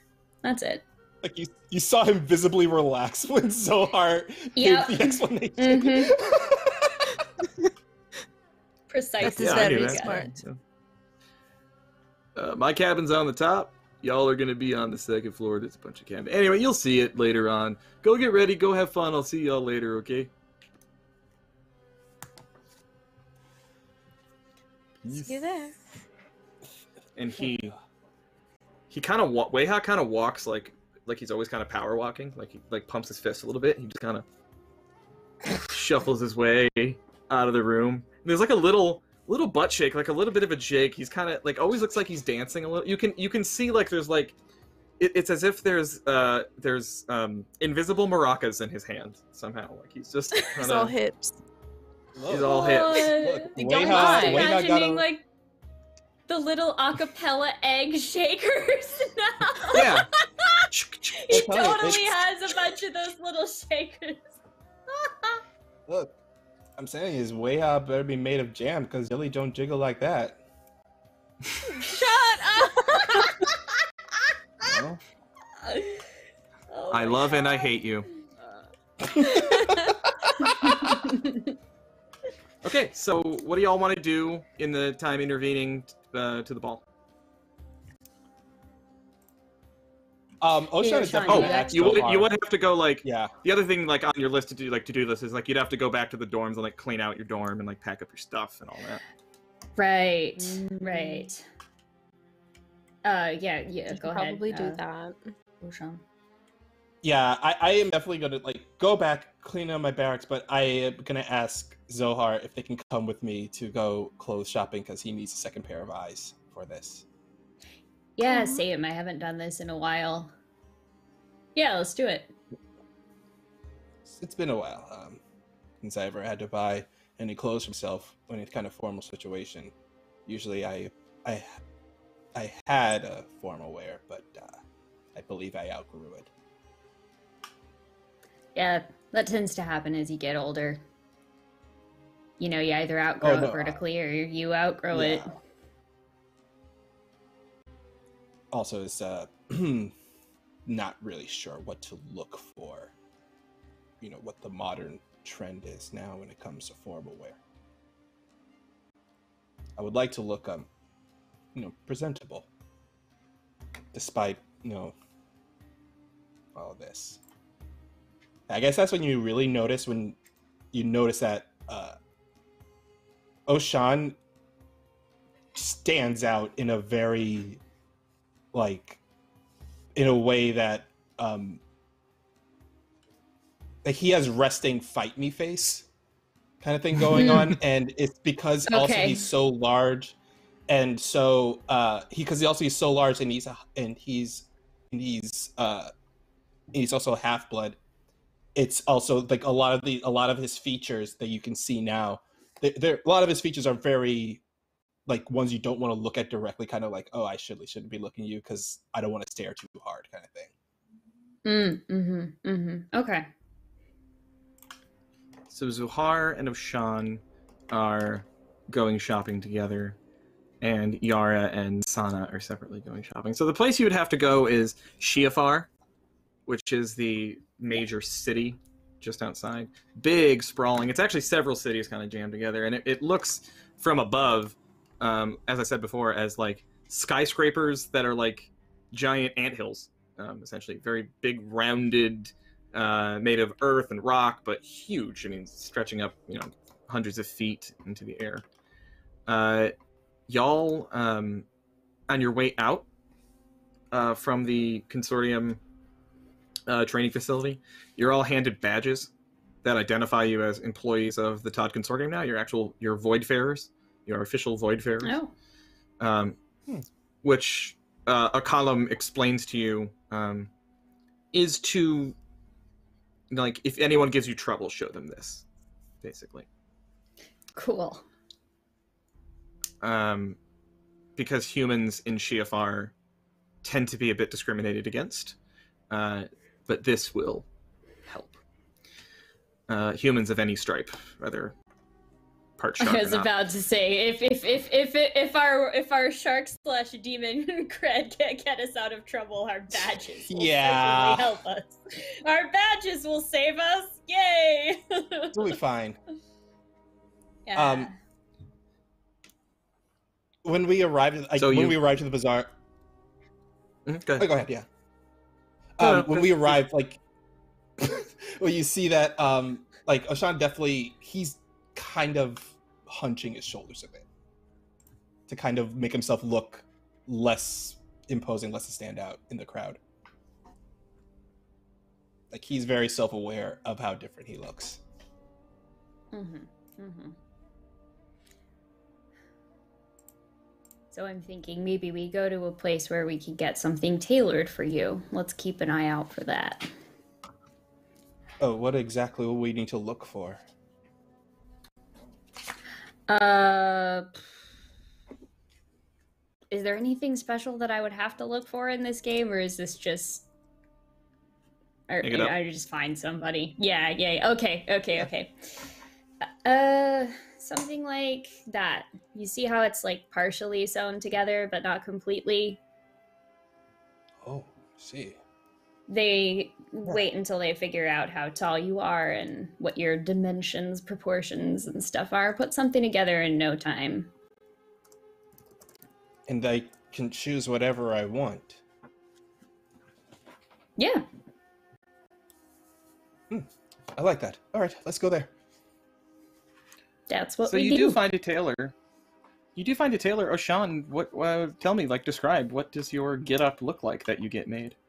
Um, Oshan's getup is um originally he was going to go with like a traditional looking like formal wear like uh nice pants jacket kind of thing.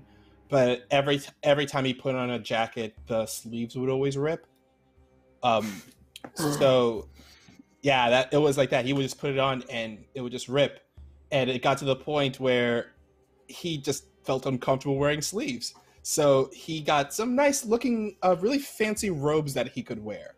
Ones that are loose enough that if he did need to, uh, and this is exactly what his words were loose enough robes that just in case a fight does break out, I am not inhibited by by the restraints of my clothes. I need full movement of my arms just in case I need to fight. Two points. One, when you say your sleeves ripping, I'm picturing Oshan wearing like a Larry the Cable Guy tuxedo with the sleeves ripped off, which is hilarious to me.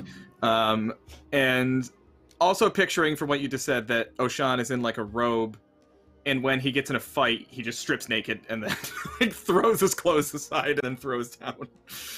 It's it's very much he just takes the robe, like throws it off his shoulders, ties the sleeves around his waist so that he's ready to go.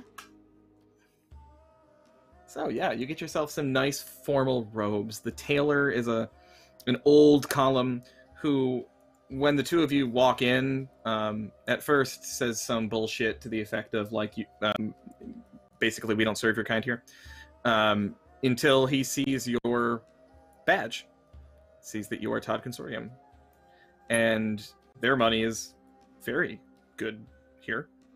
Um, of course, if you want to tell this guy to just fuck off and go somewhere else, you're welcome to. But uh, or stick it out one way. I don't care. Whatever, however you think you would react to that sort of thing, because that is a common. It's an account. It's a common enough occurrence in Shiafar. because it's Oshan, Uh, he would just he would say no and walk out and find the next door because yeah, that's the kind of guy he is. As soon as he heard that, he was like, "Well, you don't deserve our money then." And he will just head right out. And um and what he does is and he like he actually looks very upset and what he does is he just walks into the very first store he sees buys the first like formal looking robes he could find and just walks out. It doesn't even like he doesn't even ask, doesn't even cut to the point. He just goes in, buys it, and walks out because he's that upset. so Zohar, you see Oshan sort of storming off. And how how does this all make you feel? And what do you do for yourself and for Oshan?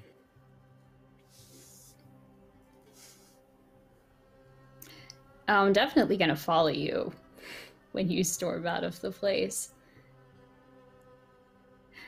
You know,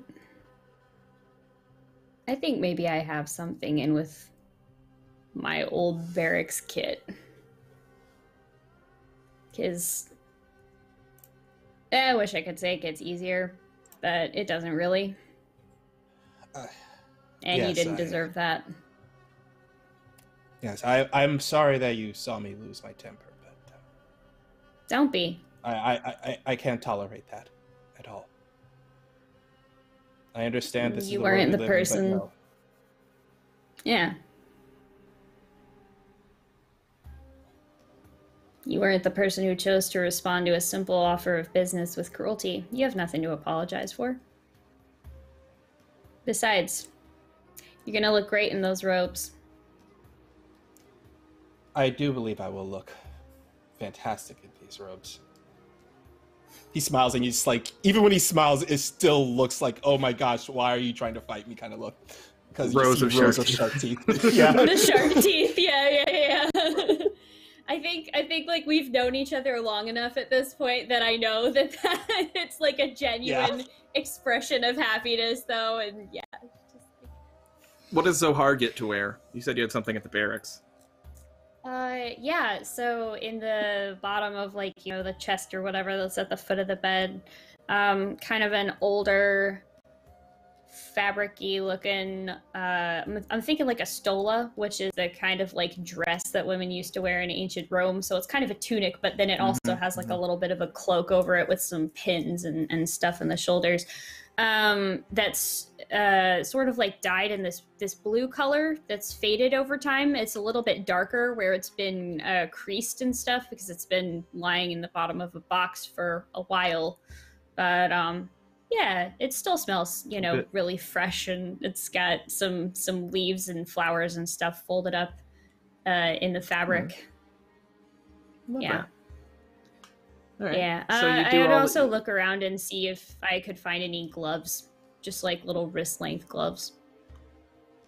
Oh yeah, sure. Dress yeah, class it up a little bit. Yeah. Um absolutely something you can get. Uh you do have to look around a little bit to find a place that has gloves that are fitted to human hands. Um but you do find Yeah. uh in a in a bazaar, um you do actually find a human who is who is hawking clothes specifically for the human population uh, of Aniar. And you find a pair of gloves, um not the fanciest, but they will match the color nicely and look very Yeah, nice. it's good. I just want something you to get cover all- the uh, metallic metallic fingers. Fair enough. You get all done up, head back to your dorms, and uh, pack things up to get ready. And Sanha and Yara, you guys are going to the city too, right? Yeah. What what kind of stuff would you want to get? How do you want to look? Um,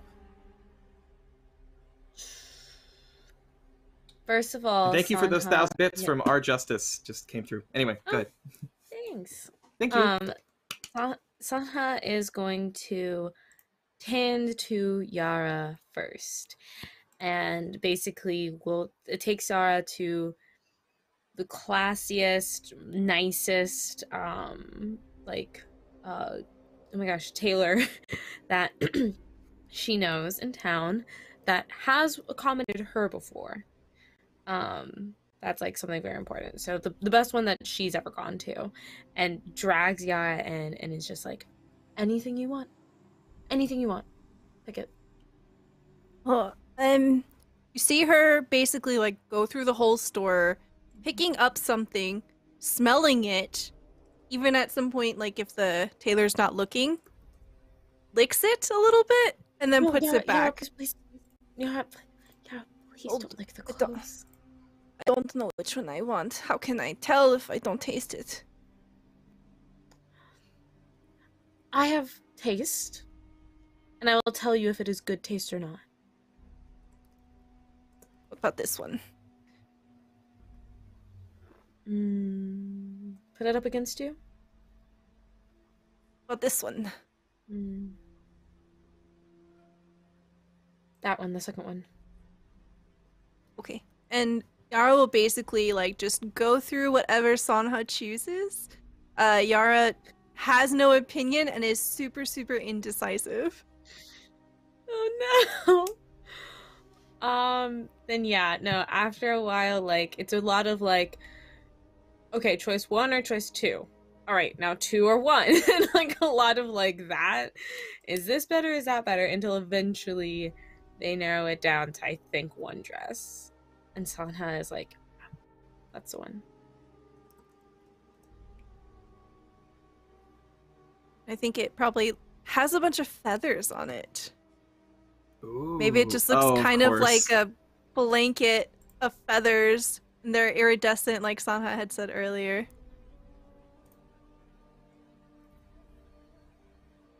I love that. I love that. Yeah, 100%. And then like the first thing that Pick the Sanha picks up, Yara's like, "Oh, that is beautiful. That would look so good on you." But she also says the exact same thing to literally everything else that Sanha touches. oh man. Um yeah, no, Sanha doesn't even question it. Like most of the time when somebody's like that, you're like, "Okay, but like tell me, like tell me what I really should get." Never. She's like, "Yeah, no, of course. Yeah, of course this will look great." on you." Mm. And is like just hearing Yara as like positive reinforcement on her on her shoulder as she goes on the list. Um and I think she eventually settles on like a sort of more like form-fitting gown that um kind of like bunch has bunches of fabrics at the shoulder and while it's kind of like a little bit higher up on the waist or the neckline up front it dips like really really low in the back. Um and if she were full Ka'Alum you would be able to see her vestigial wings but she kind of just has more like weird nubs. Like it's almost like her shoulder blades are trying to push out but they there's really nothing there. Um but that's fine. She'll show those off anyway. Um and it's kind of like a like a rich wine color. Because i forgot to mention this earlier sanha herself is like um like a brown uh color with like black highlights so like her f- the feathers in her hair have like uh are brown with like a black edging and white dots it's a particular type of lark if I remember it, I'll put it in chat.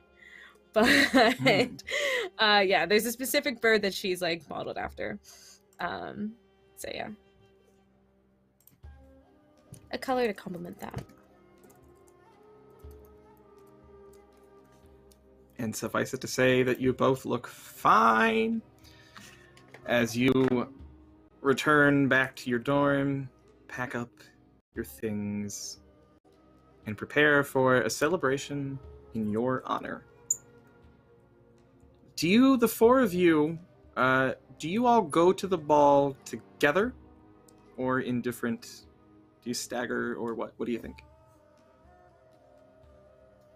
Uh Zohar is doing the the thing where you're just like you know fussing over your kid before they go to the prom and like making sure that Oshan's collar is all straight and helping him tie his tie and everything.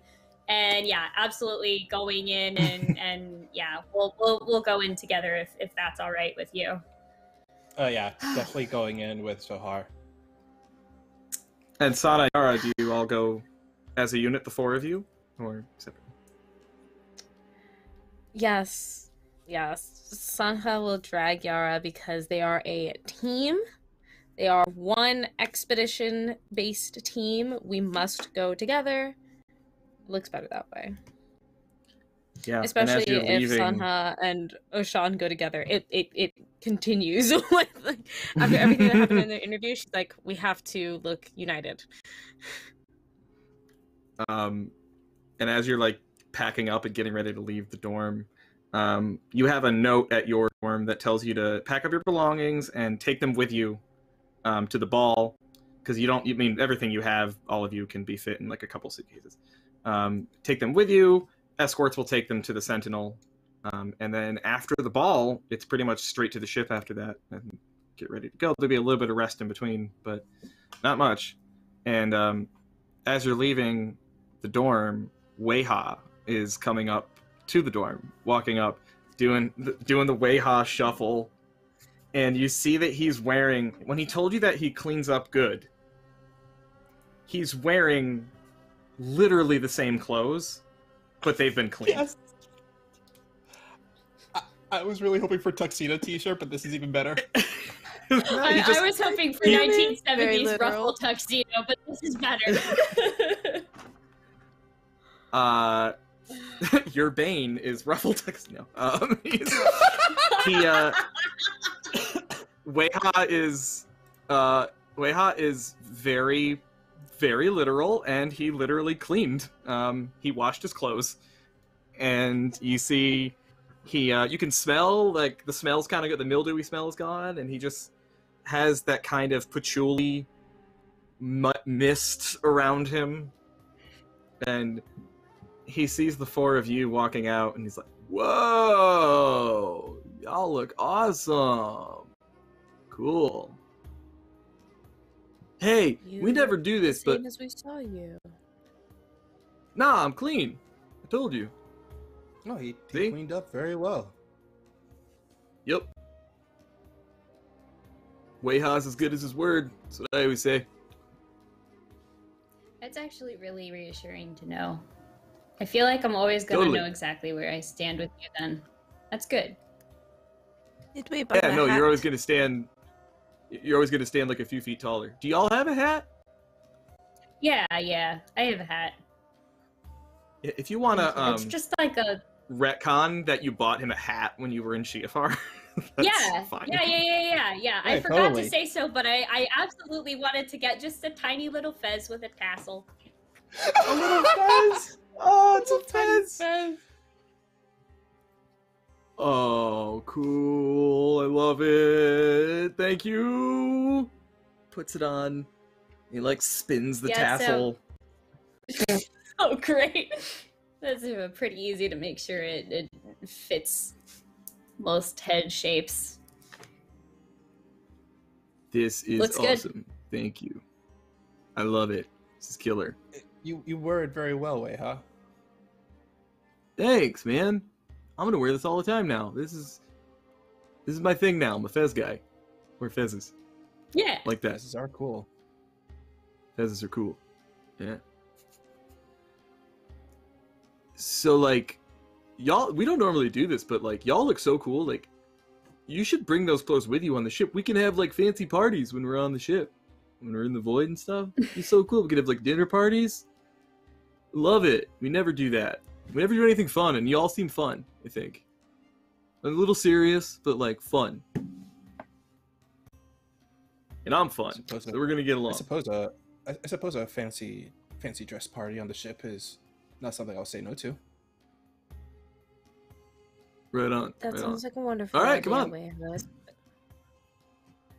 is gonna be cool.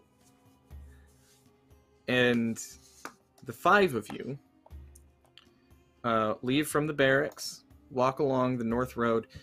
It is now just after sundown. To your right, as you walk up the road, is this massive, very long but narrow lake. You've never seen the other end of it. Oshan may have.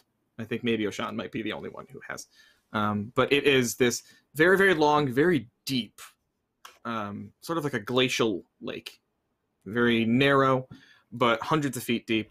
And the last bits of the dying sunlight are just reflecting off the top of this beautiful glass water, stretching on for miles. It's a beautiful scene, and reflected against that is the uh, is the Tadh Consortium uh, estate, which is um, Lacune Kutad's home, his manor home and you all walk up together from the barracks and you can hear long before you get in you can hear the hum and the chatter and the clinking of glasses and hundreds of voices all in celebration. The occasional laughter a yell a breaking glass of someone shattering the champagne. You show your badges at the door and you are led into a grand ballroom passing through the round uh, door of uh, Lacune Kutad's massive um, you know anthill sort of structured home you enter into this large bulbous ballroom that has a huge balcony along the top and all around you are hundreds of people laughing, chatting, drinking. And at the top and the balcony is Lacune Kutad wearing these extraordinary bright emerald green robes with gold trimming. He's wearing an elaborate sort of headdress. Uh, his feathers atop his head have thinned noticeably in his old age. He's a bit of a bald eagle. And he has this uh, sort of supplemented with uh, a, a large feather headdress that makes him a solid head taller than everybody else in the room. And it is very loud as you enter here, which is why it's so striking that as soon as you walk through the door, Lakune Kutad looks down and raises his hands, and there is immediate silence in the room.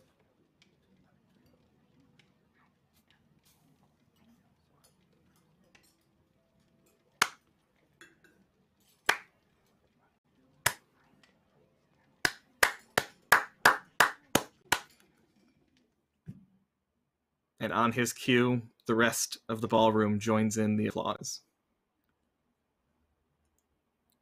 And Lacune Kutad says, Hail to the latest Voidfarers. May their mission be a grand success.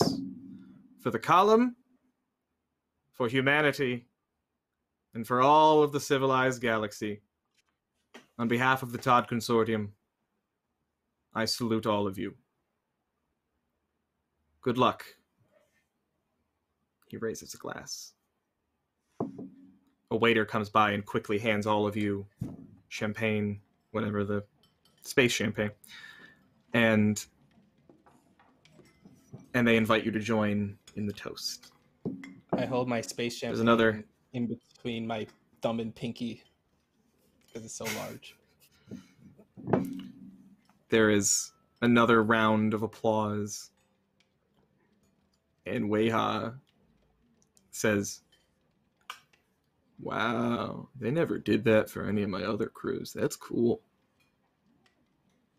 We're awesome. We're a good crew. You are pretty awesome. We're the best crew. What do the f- Weaha. I agree. Well, except for oh fuck fuck fuck fuck fuck fuck fuck fuck fuck fuck. As you see a Ka'Alum strutting toward you, gliding, nay, across the floor. Flowing silken red robes with a black trim and floral embroidery all up and down. It's quite a stunning, uh, quite a stunning Ka'Alum. This one is no fancy headdress like Lacune Kutad, but uh, but naturally tall, about as tall as Oshan.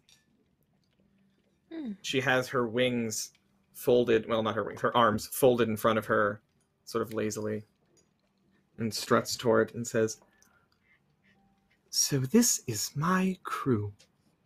Hello." And offers her hand to Sanha. Um, Sanha takes her hand, shakes it, but also like bows her head respectfully, and it's just like an honor. I understand you are the commander. Wonderful. Yes. Yes. Um, if there's anything that I can do for you. Uh, I think Sanha like sees that out of the corner of her eye, but she is focused. it's just like, um, anything that I can do for you, anything you need from me or the crew, um, just let me know. I it is a pleasure. My my dear Sanha, it's it's what I can do for you. I, I am there to be a support on your mission. You and your kind are due to find a, a new home for humanity. And I must say it is an honor to to be a part of this mission as a a sign of goodwill between our peoples. I'm here to help. I do have Yeah. certain capabilities. I am gifted in ways of healing and uh, communicating with the void forces themselves. And I, I, I, I very much look forward to helping you any way I can. I am at your service. Thank you. Um, Arbiter. Yeah. Can I make some kind of roll to get a read on this individual? Because Weaha has been like telling us a lot, and I want to check and see what's the tea. like, what's going on? Are they really a Spill narc? the tea, sis. Yeah. Um, Roll for tea. roll for tea? Roll, Give me a spill check. roll for. Expression? Hmm. What skills do you have anyway? In your skills list.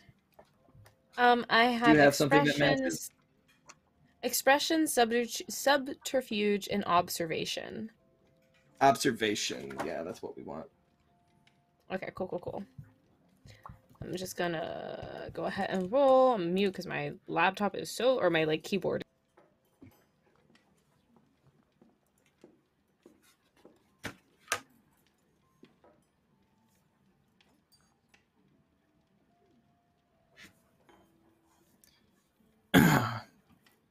If it helps, use the. There you go. Five. Did that have the bonus Ooh, on it? I, yeah. No, it doesn't. I. That didn't have the um, plus I was one, so six. So close to hanging up. Yeah, it's a six. I Six. like. All right, you have you have missed it. three rerolls. You have three rerolls. Do you want to use Um, it? Any yeah, let's let's do a reroll. Let's let's burn some of these babies. them? Okay. Um, Use them. Okay, and then with That's- a plus that's one, 12. that's a twelve. Yeah. Yeah. That's yeah. Okay. That's a good one. Sanha, you you were kind of a high society woman, right? I mean, you were you were raised among Yeah. wealthier people. Yeah. Mhm. As someone raised in that world, you long since learned the difference between polite and kind. Yes. Na'Vari is very polite, but you can smell bullshit a mile away. Yes. and this is Okay. someone who clearly knows what to say um, but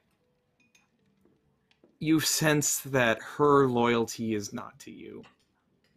It's she's she's a company woman. She is a representative of the Tadh Consortium. That's what she cares about. She doesn't really give a shit about you. But you can just see it in that fake like shit-eating grin um, this is a phony uh, she's you know you're not getting like you're not picking up um, that she's like malicious or anything but she doesn't care about you at all she's she's just playing the game So you say you've got Um, that- abilities to. uh oh, sorry. go ahead Tom. Okay, I was just gonna say, it's like Sanha's like face just does not fall. She still has that smile, and even as she like lets go of, uh I don't think we got their name, but this individual's hand. I know, Na'Vari. but yeah yeah oh, Na'Vari. well in character i'm saying Lovely. it. yeah. i want everyone to roll an awareness test Awareness. But why though? I'm so bad at that.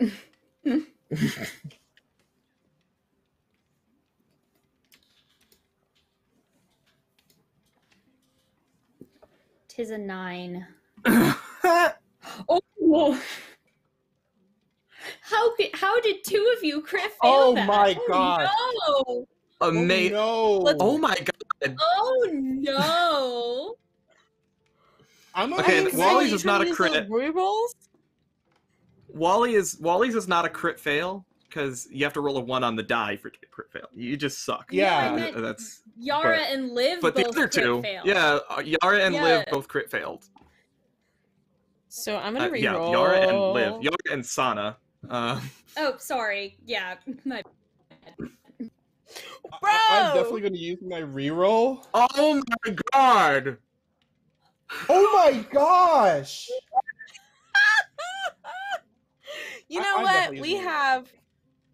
I'm. I'm just. We're almost at the end of the. You know what? I'm Go using big or go home on the first night. Am I right? yes, Hey, there, yes, there's a yes. six. this is why people donate them folks. folks what do you mean Hold what on. are the odds Oh my Is D That's- god! is roll twenty broken?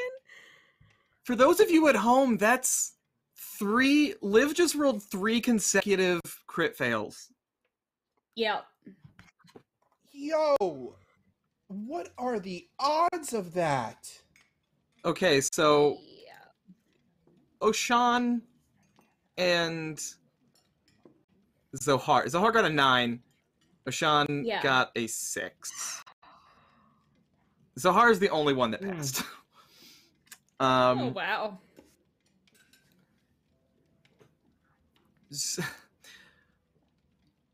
Yara and Sanha, you both crit failed. You overhear somebody nearby at a table. Uh, there's like a little food table nearby. You overhear someone saying, Is this me or "No, Sanha and Yara." You Okay. both catch this in your. You both catch this in your ear. You overhear someone saying, "It's just It's just disgusting that they let them take a ship.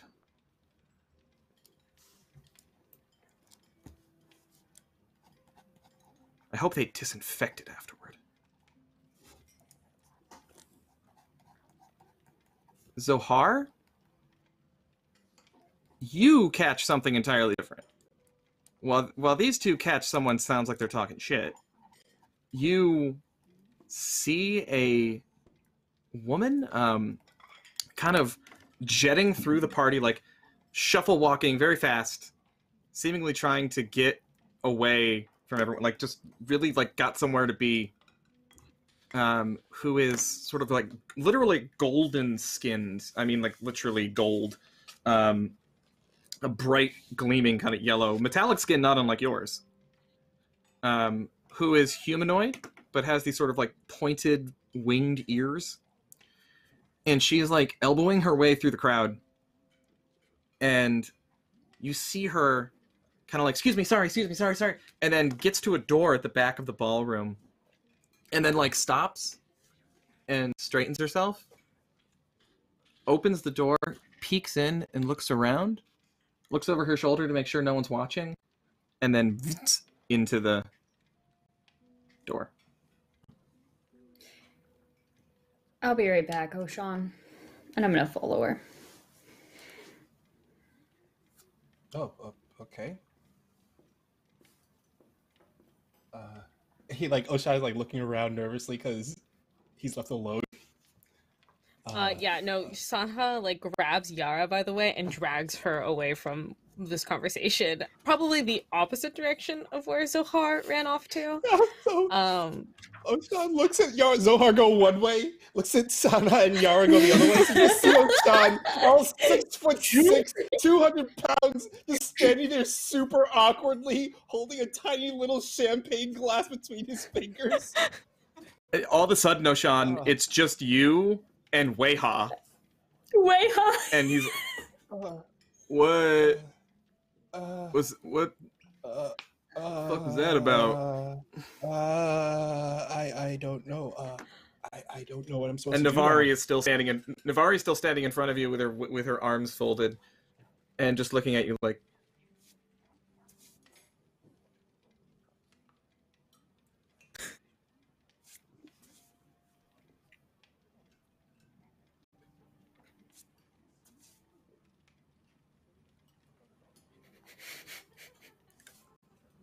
I don't know what's happening right now. What is I this? don't know what I'm supposed. I'm not. I'm not sure what I'm supposed to do either. Um, I was waiting for you to introduce yourself. oh, yes. Um, I'm. I'm. I'm Oshan. Na'Vari. And we'll cut away there. Um, Sanha and Yara, what are you two doing? Um, I think Sanha grabs like another two, no, three more champagne flutes, puts one of them in Yara's hand, show like throws back another, and then starts sipping the second one that she grabbed for herself. Did, did they say what I think they said? They talking about us. No, I think they're confused about something else. They're probably talking about um, they did. Who knows what people like this talk about? But no, they're not talking about us. that is hilarious. You hear that same voice and you realize that she's right behind you. Era chugs. Sanha. Sanha straightens her shoulders, turns around. What's funny?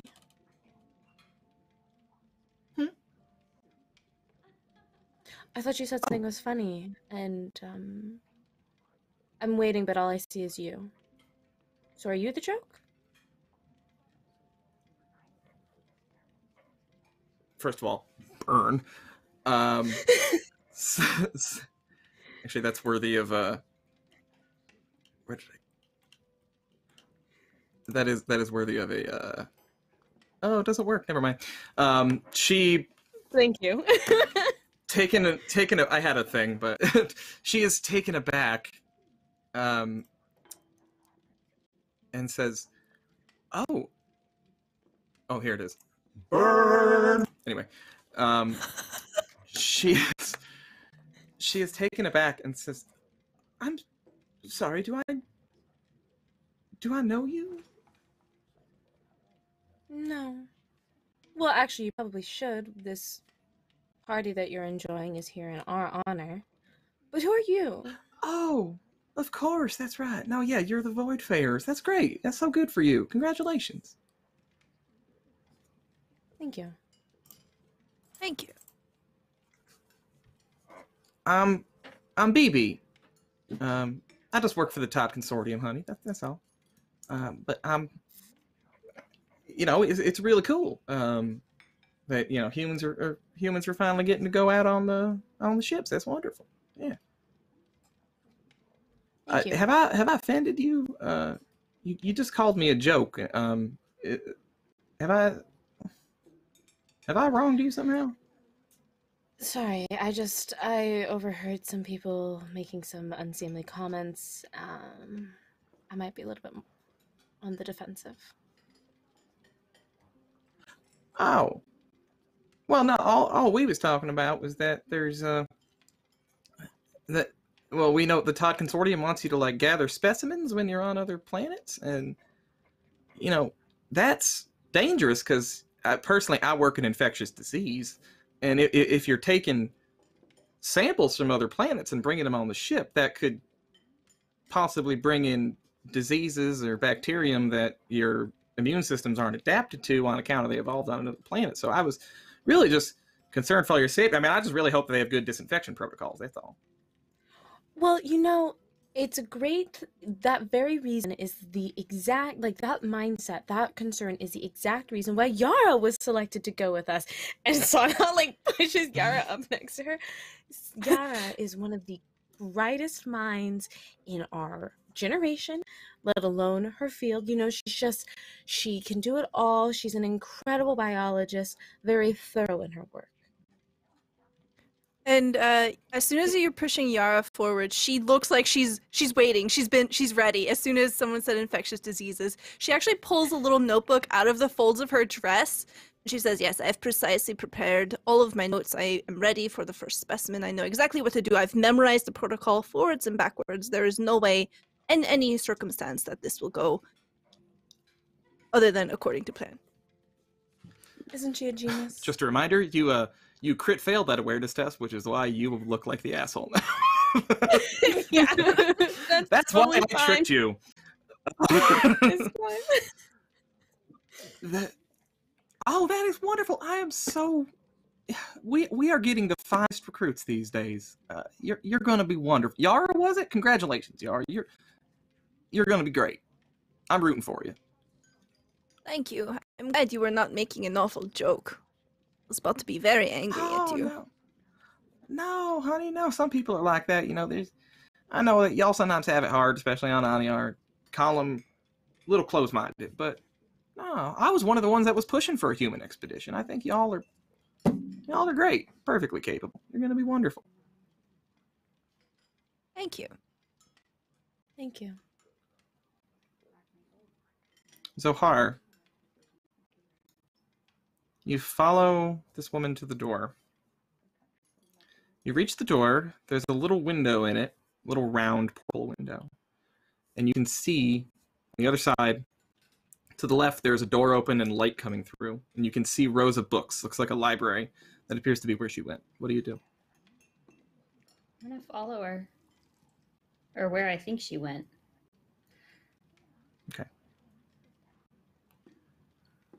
You open the door. Do you want to be stealthy or are you just barreling? I'm not running, but I'm not like dilute, dilute, dilute, dilute. I'm just like moving like a normal like a normal person. You reach the you go through the door, Mhm. You reach the open door with light shining through it, and you see that this woman is pulling books from the shelves, flipping through them frantically. She has a small notebook. She's flipping through things, taking notes. goes to a desk at the corner and starts opening it up, looking through, pulling out papers, trying to find something. Find something. Did you uh Did you uh lose something in here? Sorry. Uh, I didn't mean to scare you. I just was wondering if you'd lost something and maybe you wanted help finding it. You just kind of ran out really quickly, and I thought maybe something. Uh, Are you? Are you the? You're one of the Voidfarers. yes. Come in here and close the door. Okay.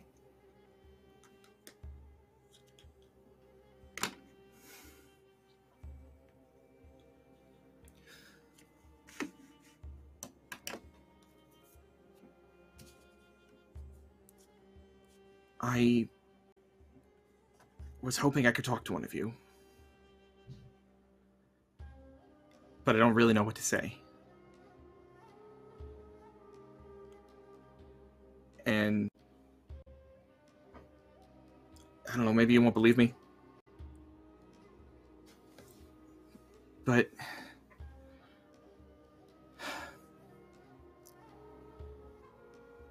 there's something not right about this expedition.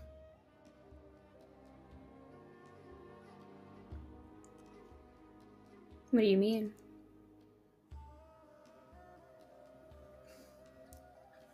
I am one of the people in charge for the Tadh Consortium of choosing the new worlds that our crews go to search. I was handed a file a few months ago about a potential new world to look for. And when I went to follow up on it, all of a sudden, all mention of it was erased from our records. Like it never happened. When I ran it up the chain, they said I must be mistaken. That there was no planet. That I'm thinking of something else. And I know what I saw. I knew I had a file for a potentially habitable world, and it was erased. Completely erased. Right off the map. I'm just. I'm worried about all of you.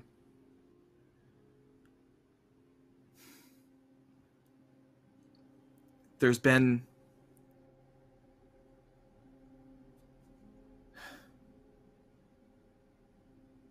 there was the ship. The last expedition. It left. And it came back. And the whole crew was gone. Gone. But the ship came home. Unharmed no damage but the crew just poof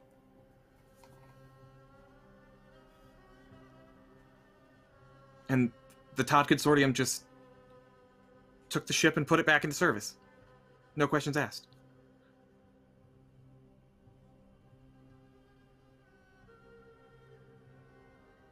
Do you think this had something to do with your missing world? Planets are disappearing. Crews are disappearing. They're up to something. I just don't know what. And the only people I mean, you're human. I you should be invested in this. You you you need to know this. You need to know who you're working with.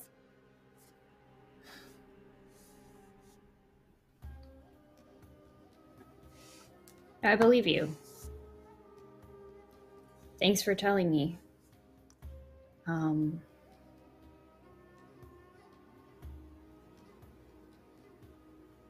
Uh, just for clarification, was this person a Ka'Alum or a human or Looks to be a half blood.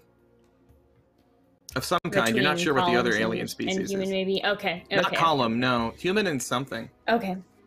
I I don't know what they're hiding. I don't know why, but they're hiding something. And I, I can't tell my superiors, but I wanted to tell one of you. One of you need to know. I was just hoping I could find some more information in here. I can communicate with you. If I find anything, I'll let you know.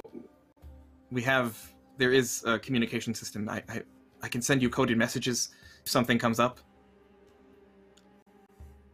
Yeah, and if we find anything. I mean, there's always official records we have to keep, but those aren't the only records that I keep. Okay. All right. Why are you.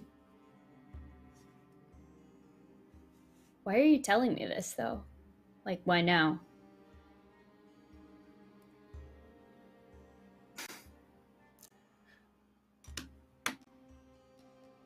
because that ship that left and came back with no crew?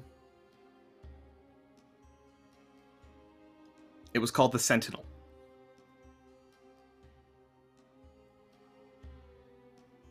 And i hear it's back in service. And that's where we will end this session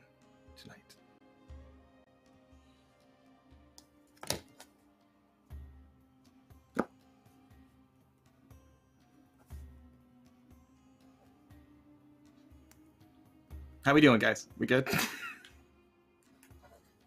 Great, amazing. Had a blast. Oh Let my me God, tell was you, so that good. was um. wow. Wow, that was.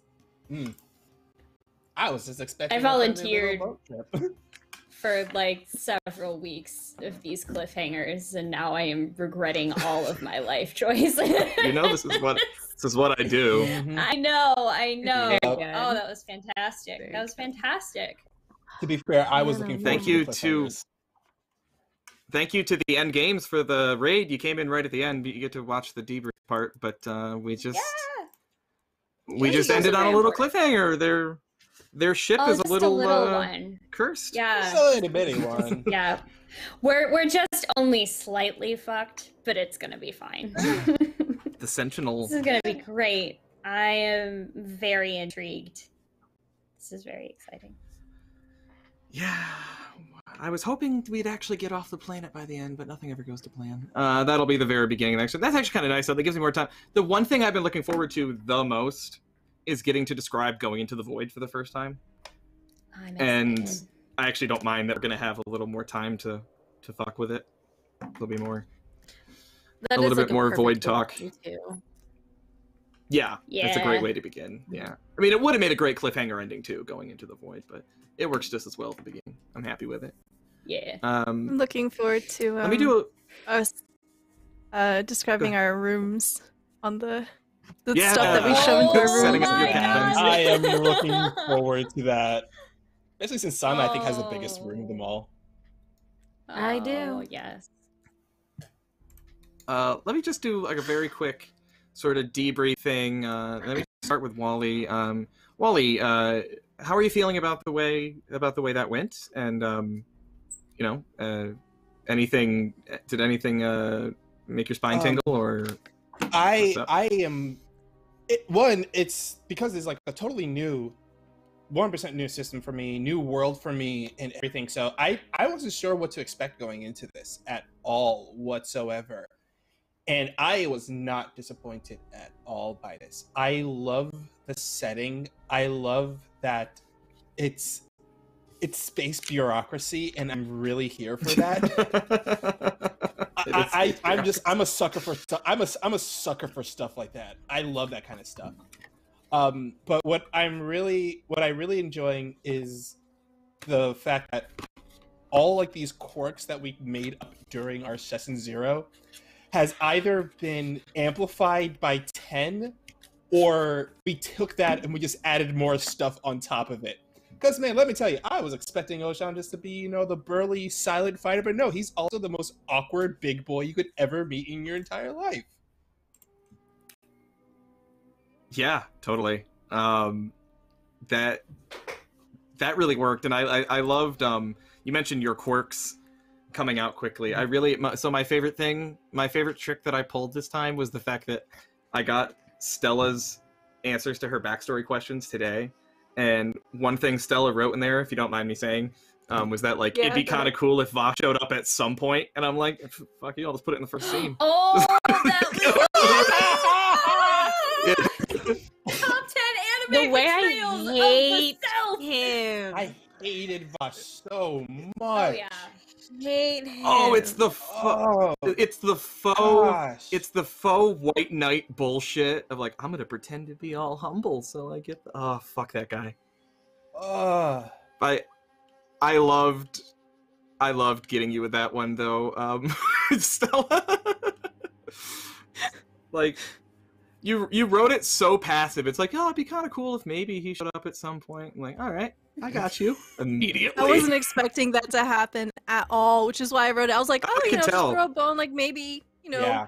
last episode callback or something. Then you're like Vosh, and I was like, right away. One beer. That was satisfying And- and- though. The end of that scene, doing the doing the like, okay, you go that way, you go that way. Congratulations, Yara. That was- like, especially And watching. The most satisfying part of that was watching y'all do like the oh. Yes, that. When Yeah. they realized what was happening. yeah. But also, once again, I, I'm just shouting out, Liv. Thank you so much for playing along with our arguing. Like Oh, the so scene good. where we both walked in, and they because like he was addressing them both, but they had this weird. Comp- the way they were talking was like Liv would like Sanha would say one thing, and then Oshan would say other thing. They were like finishing each other's sentences the whole time, but they didn't want to acknowledge. No, they're not going to acknowledge that fact. They're not going to acknowledge they are perfectly. they're not gonna. They're not gonna acknowledge each other.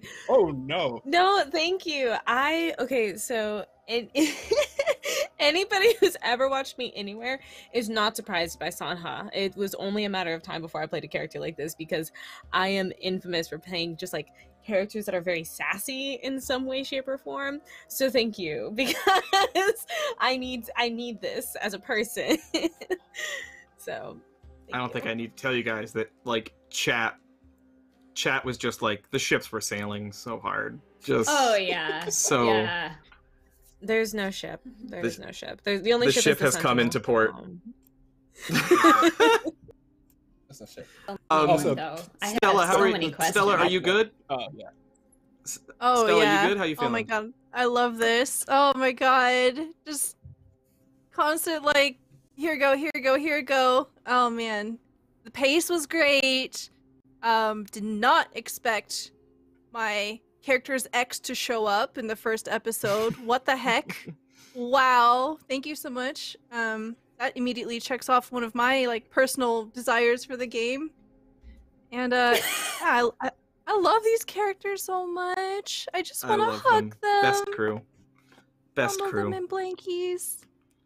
Yeah. I know. Um, Liv, how are you doing? I had a blast. I had so much fun. Um, so uh like Wally said, like I I'm like a weird person where I love like the the, the bureaucracy system. And a lot of times like that does lend itself way more to space and sci-fi settings.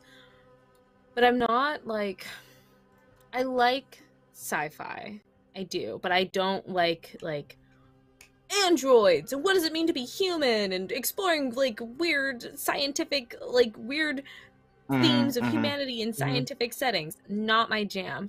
So the black void is kind of like this awesome hodgepodge because we do get that space exploration but like me being a high fantasy nerd since i was like seven years old it like hits all of those notes that i like too. So it's a lot of fun. Definitely recommend it. Um yes the fight with oshan was super super funny. Tar, aka void mob so cute so sweet So but cute. also just like all the times that like Yara and Sanha got to like hang out together, she's Sanha is like way softer around Yara than I expected her to be. I kind of did expect her to kind of like brush her off and be like, ah, you're just one of my lackeys. But then like I was like, no, like if she- she saw Yara on the other side of this door, like she would go to her, like she would go and rush because that's her bestie. yeah. And so like I don't know, it was fun to kind of like see that because I as a player wasn't expecting that out of her. So that's always fun when you can like be in a situation and your character surprises you.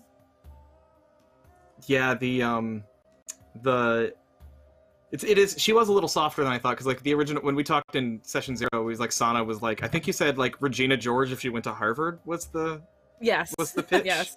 Uh, like Yes. I thought some of that.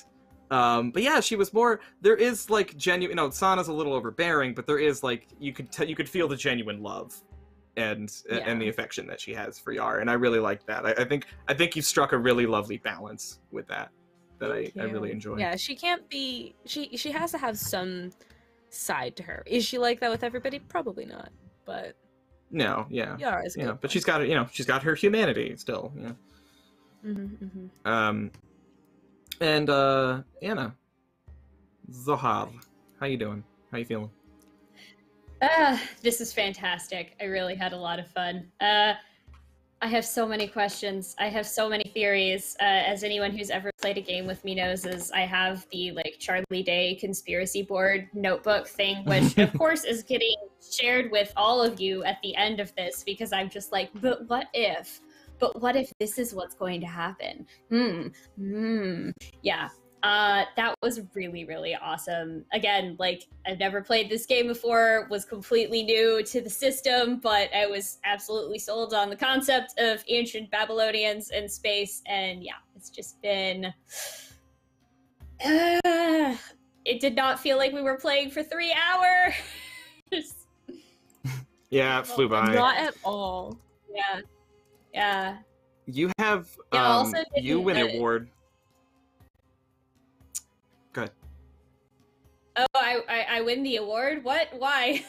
what I oh do? yeah, no, you win the award for um, you win you win today's award for throwing Colin off his game the most with the Oh, "I'ma what? make your office float" scene. Wh- I yeah. didn't see that Yeah. About Oh, we that. mentioned it. Good. We mentioned it in that. chat. We mentioned it in chat, but y'all, the crew, this this bullshit, we had no idea. We had I no what? Didn't. Yeah. I wasn't ready for special Yeah. effects. That I wasn't ready for. I was like, oh, oh, No. Zohar about to get some void craziness up in here, about to do some void wackiness. But then, oh no, Colin decides like, I'm gonna join in on the fun, and then that No, happens. the, and mm-hmm. the shock was Yeah. genuine, y'all. So- it was great. So- That was awesome. That made my that, That made was my night right there.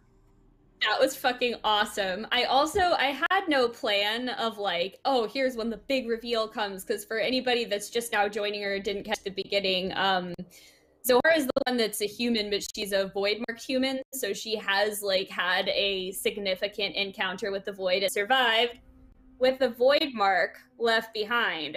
And so uh, that translates there is this uh, demonic aspect that just kind of like piggybacks in the back of her mind now as a as a result of her encounter with the void. So I didn't know that's And that's exactly what you were going to do. Uh, but basically, I just told Colin, yeah, it'd be cool if you just decided, you know, you wanted to like voice this thing that's hanging out in her brain. I'm fine with that.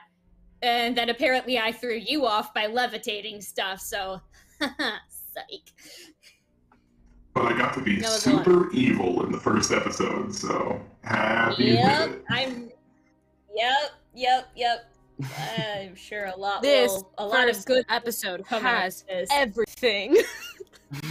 everything. This episode has Everything. everything. It has sharks, birds, shy bugs, demonic voids, people living in aunts' heads.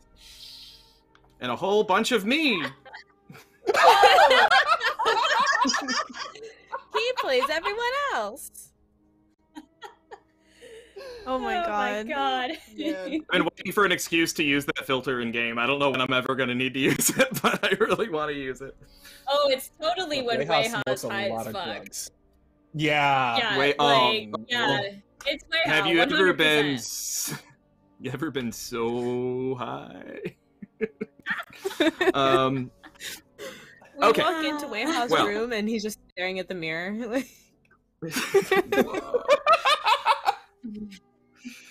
well, thank you all for joining me for that little debrief bit. Um, let us do now some quick plugs before we sign off for the evening. Um, I'm going to do it opposite order this, and I'll start up at the top left with Anna. Let us uh, know where you can be seen. And or found. Oh, hey, that's me. Um, yeah, hi, I'm Anna at Nymeria941, most places on the internet, including the Twitter, which is generally the place that I am the most active. Um, in addition to this fantastic game, which I cannot wait for the next episode of. You can find me right back here on Weave the Tale tomorrow at the same time. I'm going to be in the GM seat this time, GMing a game of Parslings, which is about uh, people that have these weird sort of word parasite things in them that manifest as awesome inky tattoos. So clearly, I have a theme going on with my cosmic entities living inside of humans. It's fun, it's good. Um, on Friday morning, you can catch me and Wally actually playing in a Lancer game over on Valdrian's channel Friday night. That's my doubleheader day. I will be returning as Agnieszka, the Grendel Bard, in Beyond the Twilight Road on Critical Misses. That is the dark fantasy fae bullshit campaign of all of our hopes and dreams. And then uh, what's the other thing? Oh yeah, Estate. Uh, Wally, me, and Colin are in a game together. Uh, that is this cool, like Victorian, cyberpunk, futuristic. Everything is awful, but we're best friends, and we're gonna get through it just fine. Uh, which is on Mondays on Colin's channel, which is twitch.tv slash Colonomicon. I think that's everything that I have going on now. I've you, you said uh, what? Hmm? You were putting up your finger like, wait, wait. Did I, I was pointing out my name. I- was just saying twitch.tv Oh, oh, oh, Yeah. I was like, I probably did. That's the name of the channel. But The name of the channel yeah, is my yeah, name. That's Yeah. Yeah, I'm always online. Find me there. I will be wearing different wigs each time. Bonus points if you can recognize me under the wig. Loving this though. This is working. This whole thing is working. I'm digging this. Really dig that wig. As we said, uh, your cool aunt who smokes weed. Yeah. Um. Okay. Uh. Liv. Hi, um, I'm Liv, and I don't have my own official Twitch channel, so you can just follow me on Twitter at Live in a Day and find out where I'm popping up to annoy somebody this week, or actually this day, um, because I do a couple of different things. So on Friday, I'll be over on Q Times doing an evil campaign, like evil Pathfinders campaign. Um, I play a witch who isn't evil; she just doesn't care. Um and that just got started last week so brand new campaign come check it out it's a lot of fun. Saturday i will be over with friends who roll dice. Um, we are going to be doing a level 20 d&d campaign but more importantly it's a charity campaign.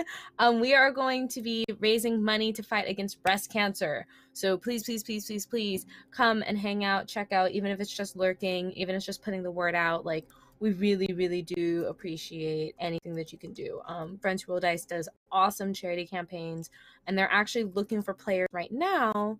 I'm pretty sure they're still looking for players for their uh, month long charity marathon for next month. So check that out.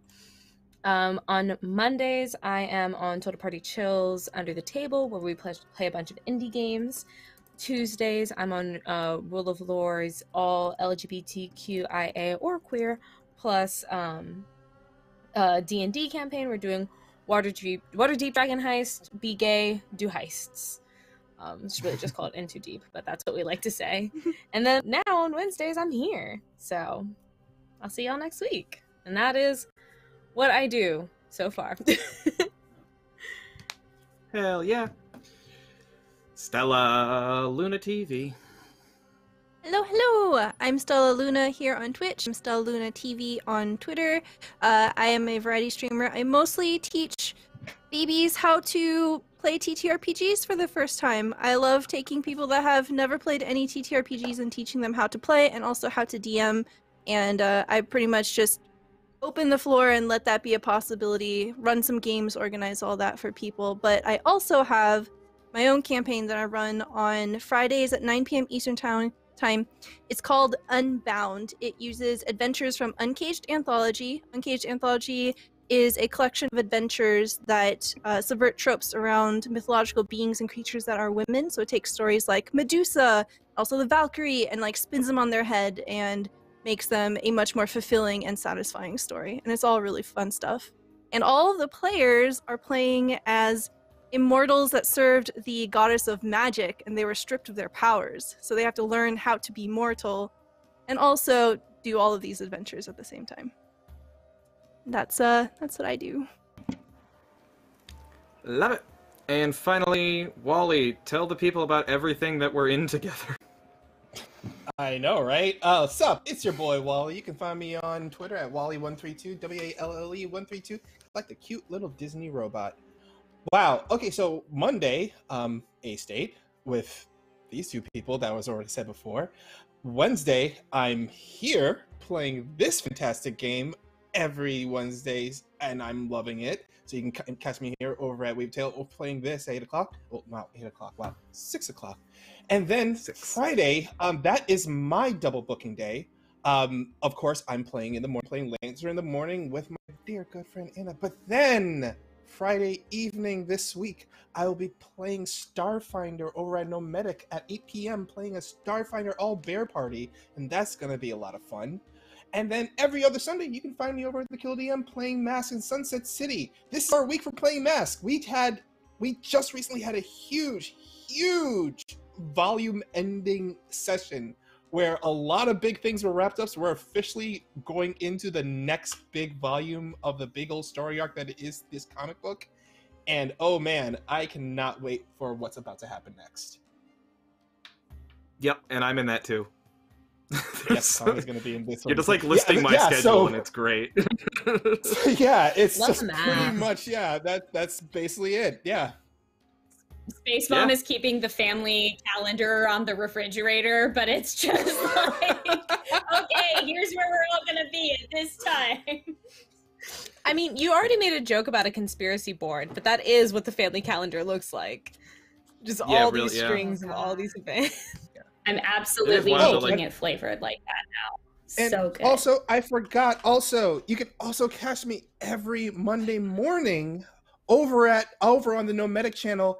Uh, every Monday morning, Nomadic, Nomadic channel at nine to nine o'clock, nine thirty for Gnome Brew. I am on that show as one of their hosts every Monday morning. So check Oh, me out there. Wake up with a little bit of Wally in your life. and that's something I don't do. But for for this week, the the Venn diagram of me and Wally's schedule is almost a single overlapping circle. It's crazy. Um, but that that one I don't do. But what I do do. Hi, I said dude. God. Hi, I'm Colin. Um, Flip at- I know. 'Cause I'm a child at the end of the day. I'm Colin at Colonomicon on Twitter. Please give me a follow. Uh, I also do have my own Twitch channel, which, as Anna said, is twitch.tv slash Colonomicon. My thing, if you will, is that every Sunday night, Sundays at 7 p.m., every single week, I do, uh, I run a one shot of a different game with a whole different crew of people, a whole different system. I've had to learn like 20 different fucking systems in the last couple months. Um, it's been awesome. Stella's been in. Uh, I think everyone has been in one except Liv, and Liv is gonna be in one coming up. Um, but I've had like all these lovely people have showed up there. I pull in all my friends that can tolerate me to come and play. We've done every game you can imagine, uh, and I just I, I own a million TTRPGs, and I want to play all of them. So I decided I would. Uh, so like last week we did a Pokemon one shot that was great. This week we're doing it a little bit differently, and instead of at seven o'clock, we are doing our one shot at two p.m. to accommodate the time zone of our friend Ollie Jeffrey, who is the creator of the game Quietus, um, which we actually played on Weave the Tale a few months ago. Uh, on Halloween, we played it here. I GM'd it. Uh, and we've played it on my channel also. But Ollie Jeffrey made the game, and he's coming on to GM it on my channel. Um, I'm very, very excited. We have two fantastic people that are going to be in that. Uh, and so come check that out at 2 o'clock. At 7 o'clock on Sunday. Normally, 7 o'clock is one shot time on my channel. Not this week. Because at 7 o'clock this week, I'm over on Matt's channel, Killer DM, with Wally, playing Masks, where I will be reviving Major Tom, my astronaut, uh, like Cthulhu meets Apollo astronaut superhero. Um, he has a tentacle face that he hides under a mask. Uh, he's great. I love Major Tom, and I've been looking forward to bringing him back for a really long time. So come check that out. Uh, my channel also every other Friday we have a talk show called the GM Post Mortem. Uh, it's on tomorrow night, so check it out. Uh, no, sorry, Friday night. Today's Wednesday. Uh, this Friday, the 19th, at 8 o'clock on my channel, um, we are chatting with Megan Cross, uh, friend of uh, friend of mine, a friend of the channel, who is a game developer herself, um, a fantastic player, great GM, uh, who is going to be talking to us about the importance of forming bonds between player characters, uh, which is something that happened very successfully in this party, and I think you can all see that out there right now. Uh, it worked beautifully, and the reason why it worked so well is because of Megan Cross, because I was using her Session Zero game that she made. It's a little deck of cards that gives you prompts. Megan made that, and uh, I use that to help build. Oh yeah, I have, have a copy right here.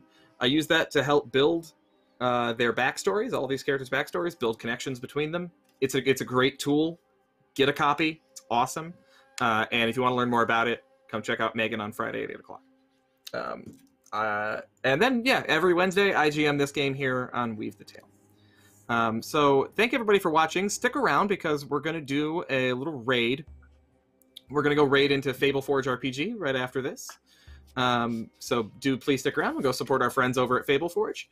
But uh, until next week, thank you all so much for watching. It's been a blast. Thank you to the cast for coming along with me on this journey.